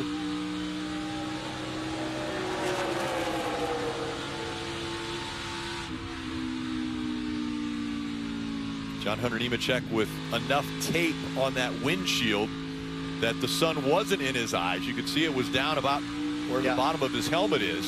Yeah. He was about a tenth quicker than, than what Sam Mayer was the last lap. I mean, think about Sam Mayer. Came into the day 16 points below. Not a must win, but had to have a monster day. A must win would be huge. This is a driver that got his first win just 11 weeks ago, right at Road America. Backed it up at Watkins Glen, then again at the Charlotte Roval. So, you know, three times at the road course. Still looking for that oval track win. And I know the other three are special, but I think when you grow up a stock car driver, you think ovals. You don't think road courses as much. Cam, what are you hearing on the one of Sam Mayer, the leader? Well, the interesting thing about coming into this race, they didn't feel like they had to win it. Crew Chief Mardy Lindley told me they were going to try and break up that points difference, minus 16 between this race and Martinsville. Marty actually said Martinsville was a stronger track for Sam, so their goal today was to finish fifth in both stages and then a fourth place finish overall. Well, they have absolutely superseded that. A second place finish in stage one, a fourth place finish in stage two. Right now, leading the race. Pretty quiet from Sam on the radio, but spotter Kevin Hamlin giving him updates on where he's running relative to John Hunter Nemechek in that second position. The gap has not changed, Kim, either. 1.3 seconds is about where they have been. Okay, I would be on the radio. If I was Ben Beshore, Uncle, Uncle, I'd be calling for Uncle. Watches the 20 and watch the windshield. In the windshield, look at these white gloves. Whoa, whoa, whoa, oh, whoa, whoa. He's catching it, sliding it. I'm like, hey, man. Oh, this would be a great shot. Watch this save. Listen in. Yeah, okay. I know you're in control, but could you do just for my own blood pressure? Could we just let the 98 go? Again, the free pass. If a caution were to come out, the fight is now between the 39 and the double zero. As the 98 has cleared John Hunter Nemechek, Riley Herbst going to try to reel in Sam Mayer as under seven laps to go now in this race. And we really don't know how much the 20 was holding up the 98. No. If the double zero, that 39 could be a bunch of spots if we have a yellow because it would put him on that lead lap. Points would be available. With six to go, I mean, if you're the fan of Sheldon Creed, cross your fingers, hope, you know, put your rally cap on. You need a yellow so they could use that last set of tires. Yeah, that would be unfortunate if this race ended and Sheldon Creed had a fresh Yeah. set of tires laying there in the pits. Yep. Sheldon Creed right now running in the 12th position, 21 seconds behind race leader Sam Mayer. The gap 1.6 seconds back to Riley Herbst. I like this gamble, though, for Sheldon Creed because, I mean, he's still running 12th. He's been 5th to 12th. I mean, what's it going to cost him? Seven points? He's minus 49. Yeah, good gamble. And Steve, you mentioned a caution coming out, you know, and having a green white checkered could still even win him the race because of those fresh tires. Yeah, anything before the white flag would generate overtime, and we would have an extended race. The battle for that free pass. If the caution comes out on the bottom of your screen, here comes Cole Custer. He's going to make the pass now on Ryan Sieg. Under four laps to go in the race. And that last lap, Herbst yeah. closed in on Mayer almost three tenths of a second. Yep. And if you just get close enough, you know, you get that guy looking in his mirror, maybe you could get Sam to make a mistake. And we have a car really slow on the flat in three and four. I think he'll get back around the 24 car. Yeah, Connor Mosack is on that access road. 98 is coming, though. He is coming. It's eight tenths of a second now that separate first and second. Riley Herbst is on a roll. Oh. Three to go. Another big chunk, Rick. Now he's close enough. That now when the one looks up, DJ, he's going to see that 98 in the mirror. Well, the 98 has changed his line to get not only the air to the front of his car, but he's able to drive into the corner a lot harder, and he's making up a lot of time just on the entry to the corner. Last lap, he was three tenths of a second faster than Sam Mayer. Riley Herbst. Could he go back to back? He won his very first Xfinity Series race one week ago at Las Vegas. Now he's reeling in race leader Sam Mayer. You can see Sam Mayer really battling his car. Looks like it's extremely loose right now. He's even moving down off the wall to see if he can get a little bit of grip and a little bit more speed. and a little defensive. Maybe Yeah. try to. I'm sure he got information from the spotter. The 98 is lower. Try to be defensive. He's going to have to figure it out for about another two, two and a half miles. Can he get within striking distance? Here comes Riley Herbst. And the two of Sheldon Creed on pit road, smoking. This time by. For the one, it's one lap to go, presented by Credit One Bank. Run your line down here. What will Riley Herbst do to try to get his second win? Sam Mayer, that championship four spot, right out in front of him as he slides out of turn two. You could try and shoot down to the bottom here, run maybe a lane up off the wall, have the air block as best we can. You're good by four. to the bottom of the racetrack. Or the middle goes the 98 of Riley Herbst. Can he get a run? Sam Mayer coming up of turn four. Sam Mayer into the wall. He gets free. Here comes Herbst. It's going to be Sam Mayer. He wins his way to the championship four. Good stuff today, boys. Best pit row we've had, best car we've had. We've been happy, boys. Thank you. What a run by Sam Mayer holding off Riley Herbst on the very last lap.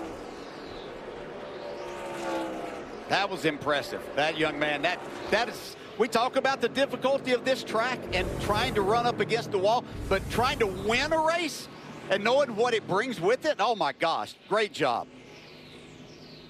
That last set of corners in three and four, Rick, right here, the one puts it right on the boards. No options other than a great corner. There's no defense to this. This is pure offense. And what is it, an inch? Oh, yeah. But you you got to protect that. You've got to make Riley Herbst try to pass you on the inside. You see, Rick, you called it. He was into the wall there, but kept his foot in the gas. Never let off the gas. And there's the margin of victory. The 20 year old now four career wins. And this is his first on an oval. More importantly, at just 20 years old, he will now be guaranteed a shot at the championship in Phoenix. Yeah, John Hunter Nemechek at plus 44. I feel very good about him, and that's basically where it ends. We have a absolute battle between three Titans, Cole Custer, Austin Hill, and Allgaier, basically three points apart right around the cut line. Martins, you are not going to want to miss, miss the short track next week. Martinsville next Saturday for the Xfinity Series. And that will determine the four drivers that fight for that championship. Three are going to join Sam Mayer. With this win here, Sam Mayer locks himself into the championship four. We've seen excitement out of Sam Mayer after he has won. He won most recently at the Charlotte Roval. But now, this one probably the most important. Let's hear from the driver as he pulls his helmet off. Kim Coon down there with him. And you saw him hold up those fours to the camera. Fourth win on the season, but the first win on an oval and does it when it matters most. Locks himself into the championship four. Sam, your first win on an oval, but more importantly, you're running for a championship. What does this mean? That's unreal. We won on an oval. Woo! I can't believe it. Like these guys, the Accelerate Hux Camaro today was just so good. Like obviously the double zero, he, he was as fast as Xfinity 10G, but so are we. So it all it's all about putting a full race together, and I'm so proud of these guys. They kicked tail on pit road and.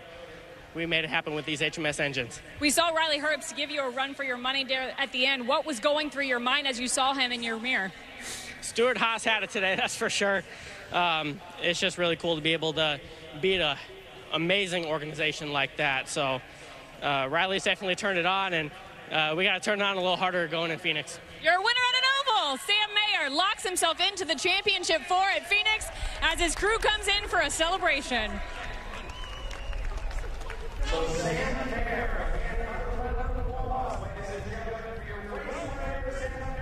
Crew telling him how proud they are of what Sam Mayer was able to do here. A team win for this number one. And Sam Mayer's now going to head to Ruoff Mortgage Victory Lane and celebrate in style.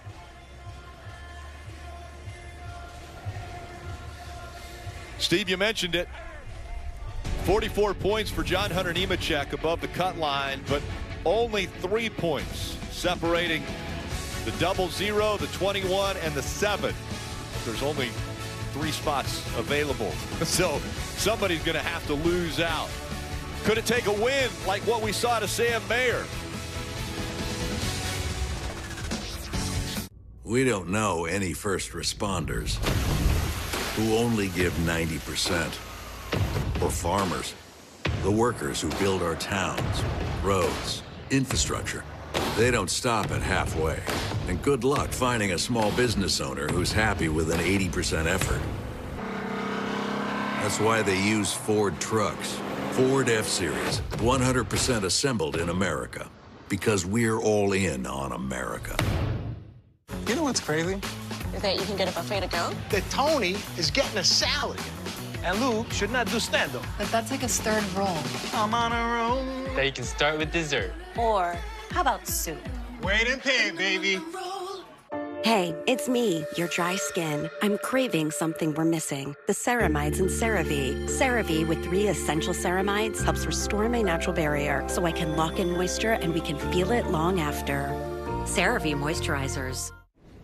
Sam Mayer headed to some pretty impressive real estate. Victory Lane here at Homestead Miami Speedway, which is right at the start finish line. And that's a place I'm sure that Riley Herbst would love to be right now, other than talking with Marty.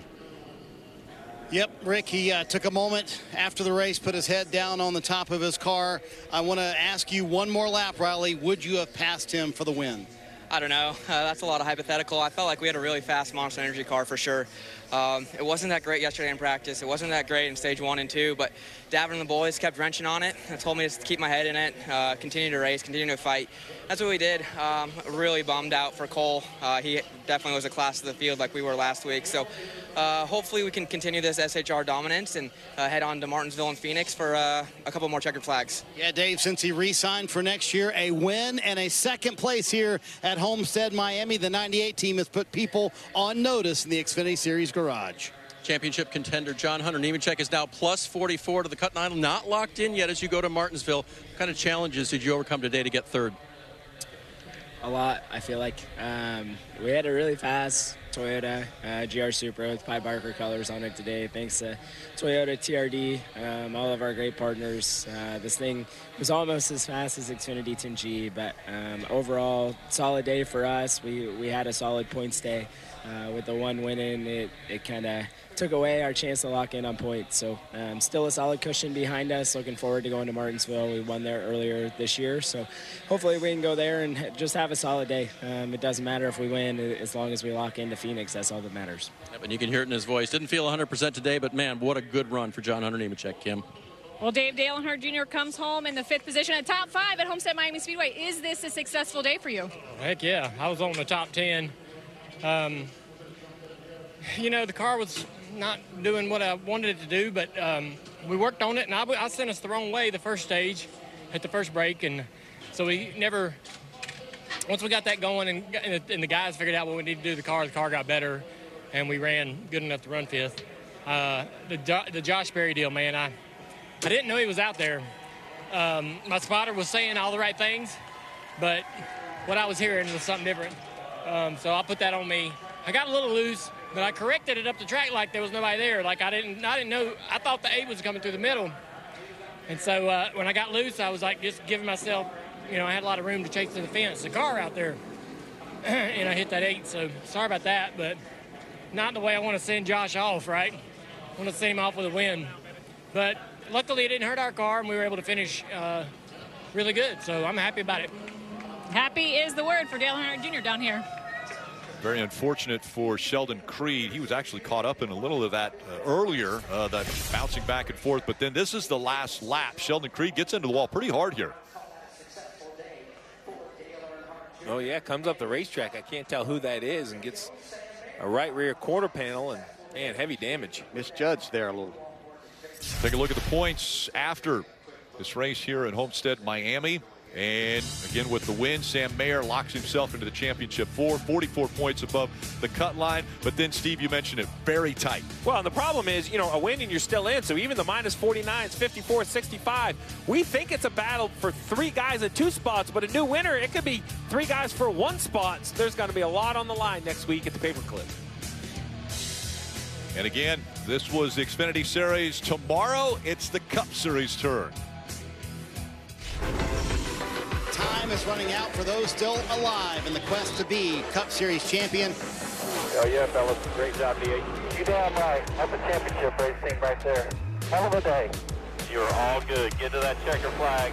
Get in there, William. Yes! Awesome job! I love this damn racetrack. It's been good to us. Hell yeah, Miami, baby. Good job, dude. Yeah, guys. Kick their today. Let's go get the Tony title.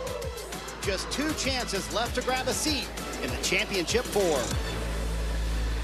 Again, that's tomorrow. It gets underway at 2 o'clock on NBC with Countdown to Green at 2.30. It is the second race of the round of eight for the Cup Series. And, of course, wrapping up with NASCAR America post-race at 6 o'clock, streaming on Peacock. Here's Cole Custer. Cole Custer is the dominant car here at Homestead Miami, but a right front went down, Cole. And after all the patience you showed today, how frustrating is this one to take? Yeah, it's hard to hard to swallow. I mean, uh, we had such a fast car, and our guys did such a great job. They deserved the win today, and I just I got in too deep. You know, I mean, I didn't feel like I was pushing it, and I think I just passed a lapper, and I just got out of my rhythm, and I just got in a little too deep and hit the fence. So uh, it just sucks. I mean, this car was so fast. I just need to learn how to back it down when we're when we have that big of a lead. But uh, I mean, I can't think everybody at Haas Automation, Stewart Haas Racing. I mean, we are bringing absolute rocket ships to the track right now, um, and I know we will at Martinsville too. So.